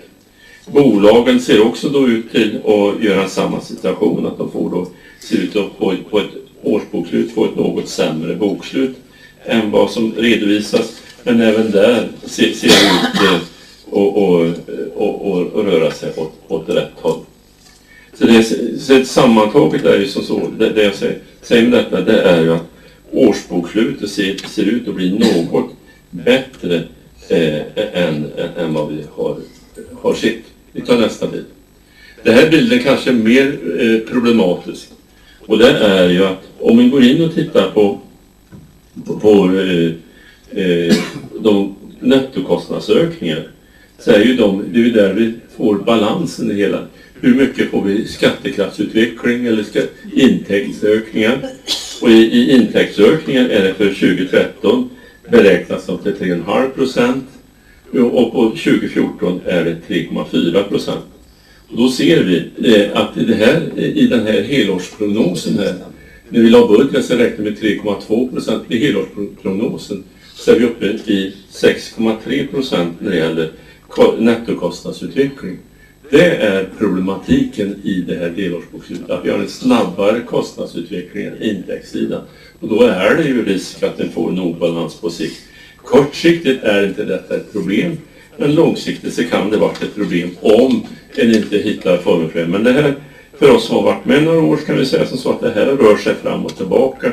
Men det är oerhört viktigt att det har då en rörelse som eh, rör sig fram och tillbaka. För ser vi vissa år här så har ju varit kostnadssänkningar och eh, betydligt annorlunda sett om vi tittar olika år. Men det är en problematik så fort den kommer i en kost, snabbare kostnadsutveckling än intäktsutveckling. För kommunal budget är inte ett dugg konstigare än en plånbok eller hemma. Det, får, det, måste ha, eh, det måste ha balans på utgifter och inkomster.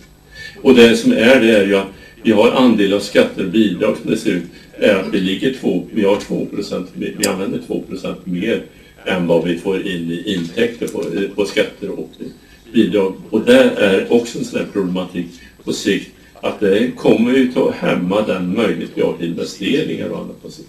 Om vi inte får upp, kan ligga i balans här. För då, det, är ju, det har ju varit, eh, det har varit det vi måste jobba med och hela tiden varit observanta på de här frågorna. Men eh, så vi har en förhoppning är nu att eh, vi kommer att komma närmare 100 procent i den här delen och sen att vi på det sättet kan få då ett bättre resultat. Men vi rullar vidare. Och där kan vi se de eh, olika verksamheter, hur helårsprognosen ser ut. Och det här är ju framförallt inom lärande och stöd som problematiken har varit. Det som är, vi tog upp i kommunstyrelsen diskuterade, det var väl de, eh, att det som sak, avsaknas i det här arbetet, det har väl varit de tidiga signalerna. Att här är ju rätt viktigt att man kom, tittar rätt tidigt på året, gör omdisponeringar, går igenom det här utskottet tillsammans med förvaltningen, gör omdisponeringar tidigt under året när man ser att man får ansträngningar på ett visst ställe och sen om man inte klarar själv så får man se om man kan klara att göra omfördelningen precis på det sätt som Sten läste upp i det förslag till beslut vi tog förut. Och det här, eh, här har vi ett arbete att jobba med och eh, då Jan-Åke fick ett uppdrag på kommunstyrelsen tillsammans med Eh, förvaltning och, och jobba vidare med för att kunna se om det är möjligt att kunna minimera eh, underskottet. Det ser bättre ut både på lärandestöd och vård och omsorg. Min bedömning är inte att vård och omsorg kommer att ha något underskott utan och där, och min, är att lärandestöd kommer att ha mindre eh, underskott kommer, kommer till mål, målsnöret. Vi går vidare.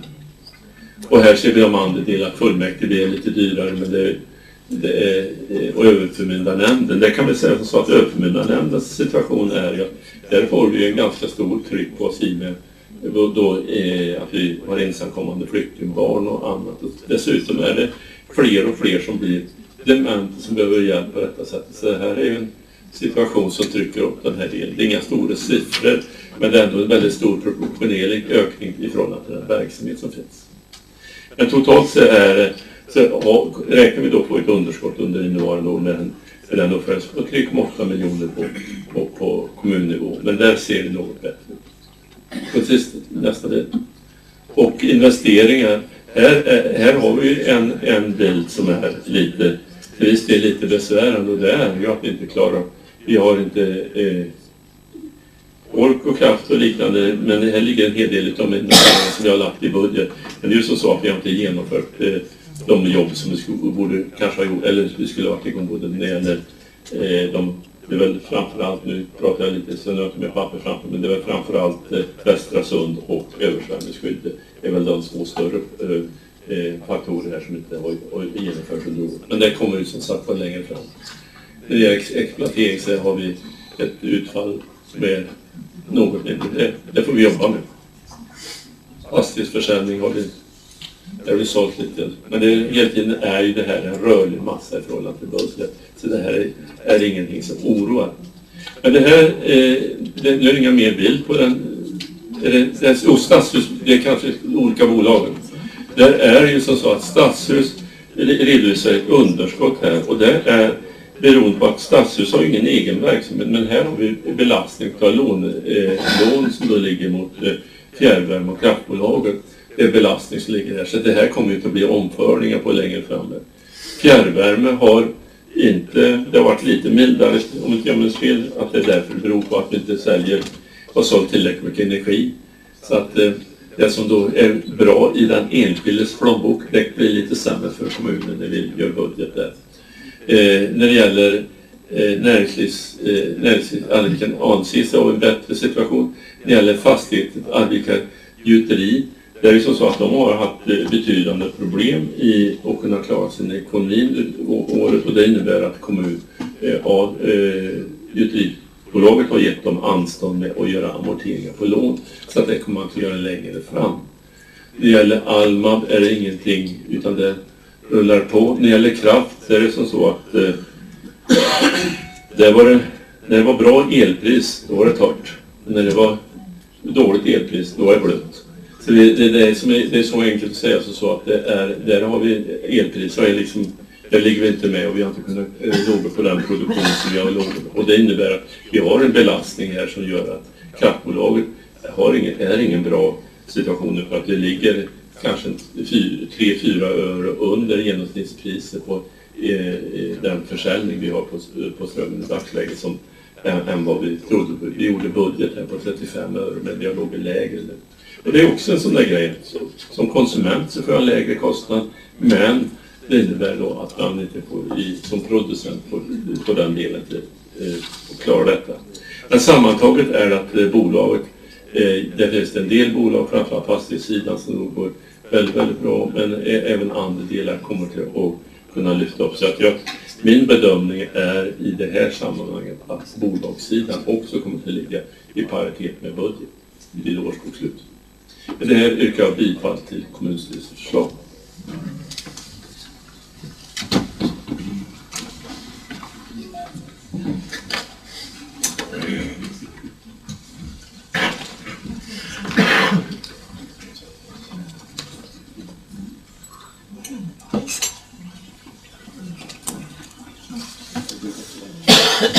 Sådär, och då lämnar jag ordet fritt rörande helårsbokslutet. Är vi redo att gå till beslut? Ja. ja. Beslut i enlighet med kommunstyrelsens förslag? Ja. Så har vi beslut. Ärende 13, placeringspolicy för Arvika kommuns pensionsmedel. Där Arvika kommuns nuvarande placeringspolicy uppdaterats för fyra år sedan och nu görs det en ny uppdatering här för att modernisera den hela. Och förslaget till beslut är att kommunfullmäktige fastställer föreslagen uppdatering av placeringspolicyn för Arvika kommuns pensionsmedel. Jag lämnar ordet fritt. Är vi redo att gå till beslut? Ja. Beslut enligt förslag? Ja. ja Motion om tandvård för, för äldre från Lena Kandegård. Och Lena har föreslagit och yrkat att eh, kommunen ska uppta samtal med landstinget om möjligheten att skapa en mobil tandläkarmottagning på kommunens äldreboende. Och förslaget till beslut är att kommunfullmäktige beslutar att funktionen är besvarad med hänvisning att konkret kontakt redan är etablerad med landstinget. Lämnar ordet fritt. Är vi redo att gå till beslut? Ja. Beslut enligt förslag? Ja. Medborgarförslag om policy rörande barn med diabetes från Larry Eriksson. Och Larry har föreslagit att Arvika kommun upprättar en policy för hur man ska ta hand om förskolebarn med diabetes. Förslaget till beslut är att kommunfullmäktige beslutar att ge förvaltningen i uppdrag att utarbeta riktlinjer för hur elever med diabetes ska hanteras inom förskolan samt genomföra en översyn över de befintliga riktlinjerna för hantering av diabetes inom grundskolan. Jag bryter glasögonen, försvann, nu försvann texten. Så.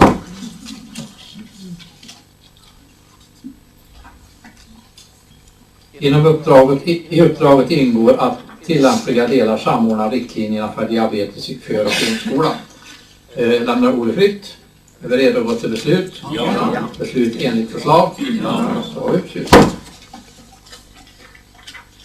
En del av er vet om har alltså bekymmer med ett membran som täcker den gula fläcken och som, som ligger lite snett så att eh, det rör sig lite fram och tillbaka också. Så att det är lite spännande att se för min del. Konstnärliga konstverk har helt andra former när man har ett sånt synfel. Bengt Erlandsson föreslår ett medborgarförslag att Arvika kommun inför ett nattligt trafikförbud i centrum. Och förslaget till beslut är att kommunfullmäktige konstaterar att utvidgning av den befintliga avstängningen av innerstaden har prövats, dels geografiskt och dels tidsmässigt. Och att efter periodens slut har detta också utvärderats. Kommunen har nu för avsikt att se över de allmänna lokala ordningsföreskrifterna. Är vi redo att gå till beslut? Beslut enligt förslag? Fotograferas här. Medborgarförslag om hastigheten på timmertågen från Bengt Erlandsson. Och Bengt har kontaktat Trafikverket om hastigheten på timmertåg som passerar Arvika. Han anser att hastigheten 110 km i timmen är alldeles för hög sett ur säkerhetsperspektiv. Och kommunstyrelsens förslag till beslut är att fullmäktige ger förvaltningen i uppdrag att kontakta Trafikverket för att försöka få till en hastighetssänkning av timmertågen och annan godstrafik via järnväg som passerar Arvika. Claes Pettersson, varsågod.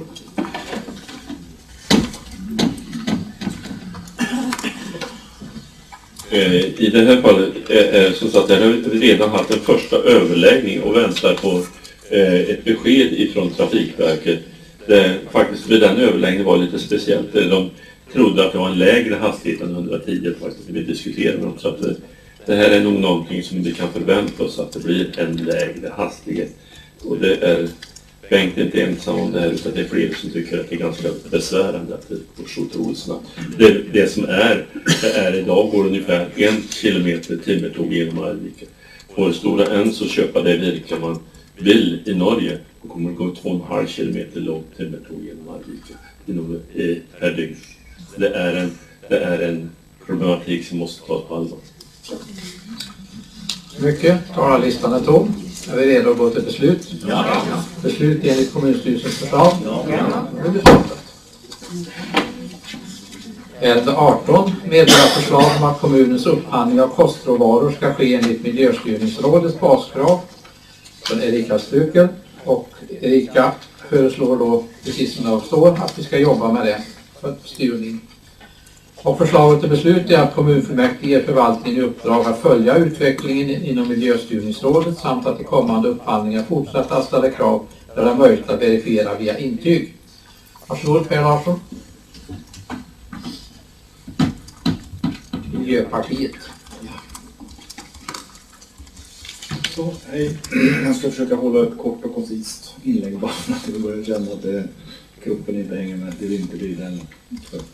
Eh, vi har inget annat förslag till yrkan, förslag till beslut, förslag, utan ville bara markera att vi diskuterade den frågan och insåg att det var ganska komplicerat att försöka förstå och se om man kunde, för att det är ändå en vällovlig så att säga, intention att ge så bra mat som möjligt och så goda villkor som möjligt och så också. Så vi ville bara säga att vi hoppas att vi kan komma tillbaka med på något sätt bra förslag som kanske går att förbättra det.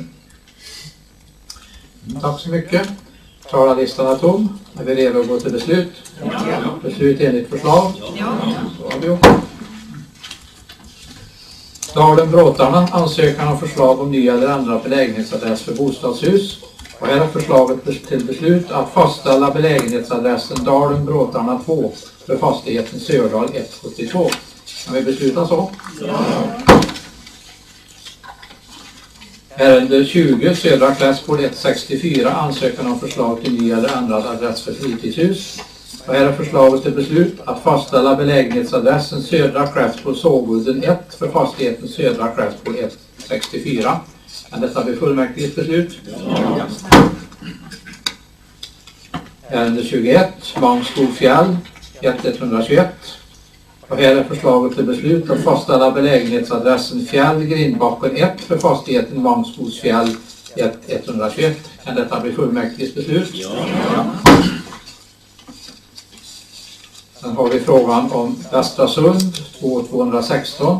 Och här är förslaget till beslut att fastställa belägenhetsadressen Västra Sund Björkviken 1 för fastigheten Västra Sund 2216. Kan detta bli fullmäktiges beslut? Ja. Sen har vi Västra Sund 2, 217. Och här har vi, förslag, här har vi då förslaget till beslut att fastställa belägenhetsadressen Västra Sund, Bjurviken 1 för fastigheten Västra Sund 2, 217. Kan detta bli fullmäktiges beslut? Ja. Nu har vi en motion om boende för personer med psykiska funktionshinder inlämnad av Jack Reimer. Och jag föreslår att den remitteras till kommunstyrelsen för beredning. Kan det bli fullmäktiges beslut? Ja. Vi har fått ett medborgarförslag om en aktivitetspark för Tyrone Andersson.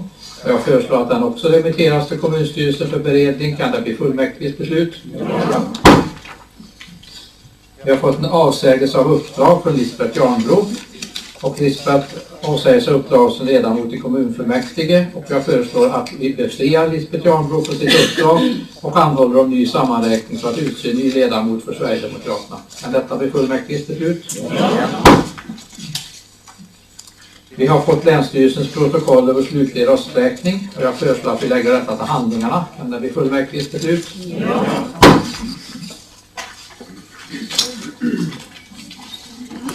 Och vi är inne i tilläggslistan. Och då är vi framme vid ärende 28. Avsägs av uppdrag från Maj-Britt Bruse. Och Maj-Britt avsäger sig uppdrag som ersättare i kommunfullmäktige och jag föreslår att Maj-Britt Bruse befrias från sitt uppdrag och att vi ber Länsstyrelsen om ny sammanräkning för att utse ny ersättare för Moderaterna. Kan detta bli fullmäktiges beslut? Ja.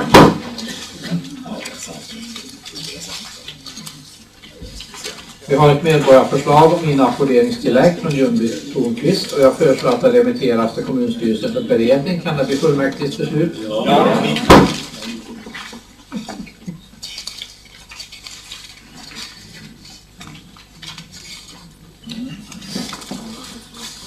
Har det inkommit en avsägelse från Sara Andersson. Hon avsäger sig uppdrag som ledamot i kommunstyrelse, utskottet vård och omsorg Civilförsvarsnämnden och Arbetslöshetsnämnden. Och de två sista är kopplade till kommunstyrelseuppdraget. Och eh, jag föreslår att vi beviljar den här avsägelsen. Skickar ett tack till Sara för den tiden hon jobbar ihop med oss. Dessutom undrar jag då om Miljöpartiet har ett nytt förslag till kommunstyrelseledamot. Nej, då ber ni på att återkomma till det så kommer vi att välja då kommande fullmäktige. Eh, detsamma gäller ju då vård och omsorg, men det lämnar ni förslaget till kommunstyrelsen. Eller förlåt, ja, vård och omsorg lämnar till kommunstyrelsen. Då godkänner vi den avsägelsen. Vi ser, har vi lite annat småplock här innan vi är riktigt klara. Eh, jag vill uppmana partierna att ni utser gruppledare. Varje, grupp, varje parti ska ha en gruppledare i fullmäktige och där har vi möten mellan fullmäktigeträffarna för att kunna ja, planera arbetet och diskutera hur vi kan lägga upp olika problem. Och jag avser att kalla till ett sådant möte i, har du datumet framme? 10 november klockan 09.00. 10 november klockan 09.00 och då är det bra om vi får reda på vilka som är representerade de olika partierna så att vi kan skicka kallelse till dem och med underlag för vad vi diskuterar. Bland annat så funderar vi prata på bolagsstruktur och eh, arvodesregler. Men det kanske inte kommer på annat nytt och roligt också. Sen har vi en liten, liten övrig sak som vi ska pyssla med och som vi inleder nu för Och det är nämligen så att för att alla ska bli vana att vara i talarstolen så kommer vi att lotta ut till varje fullmäktigemöte tre personer som ska tala om sig själva nästa gång. Vi har en talartid på mellan två och fem minuter. Och eh, det är upp till själva vad ni vill berätta om er själva. Men det är idén för att vi ska lära känna varandra och veta att det finns så mycket mer hos de människorna som sitter här än en partistämpel i pannan. Och det är det som är idén med det hela. Plus att alla ska vara vana att vara i talarstolen. Så då har jag, får jag be mina vänner här, vice ordförande, utsett, plocka ut tre stycken namn som blir lyckliga nog att få hålla tal nästa gång. Leif Björnlod. Leif Björnlod, det var fem minuter.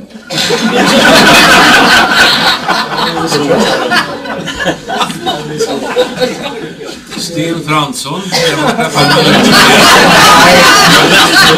Vi hade åkt i hjulet tillsammans.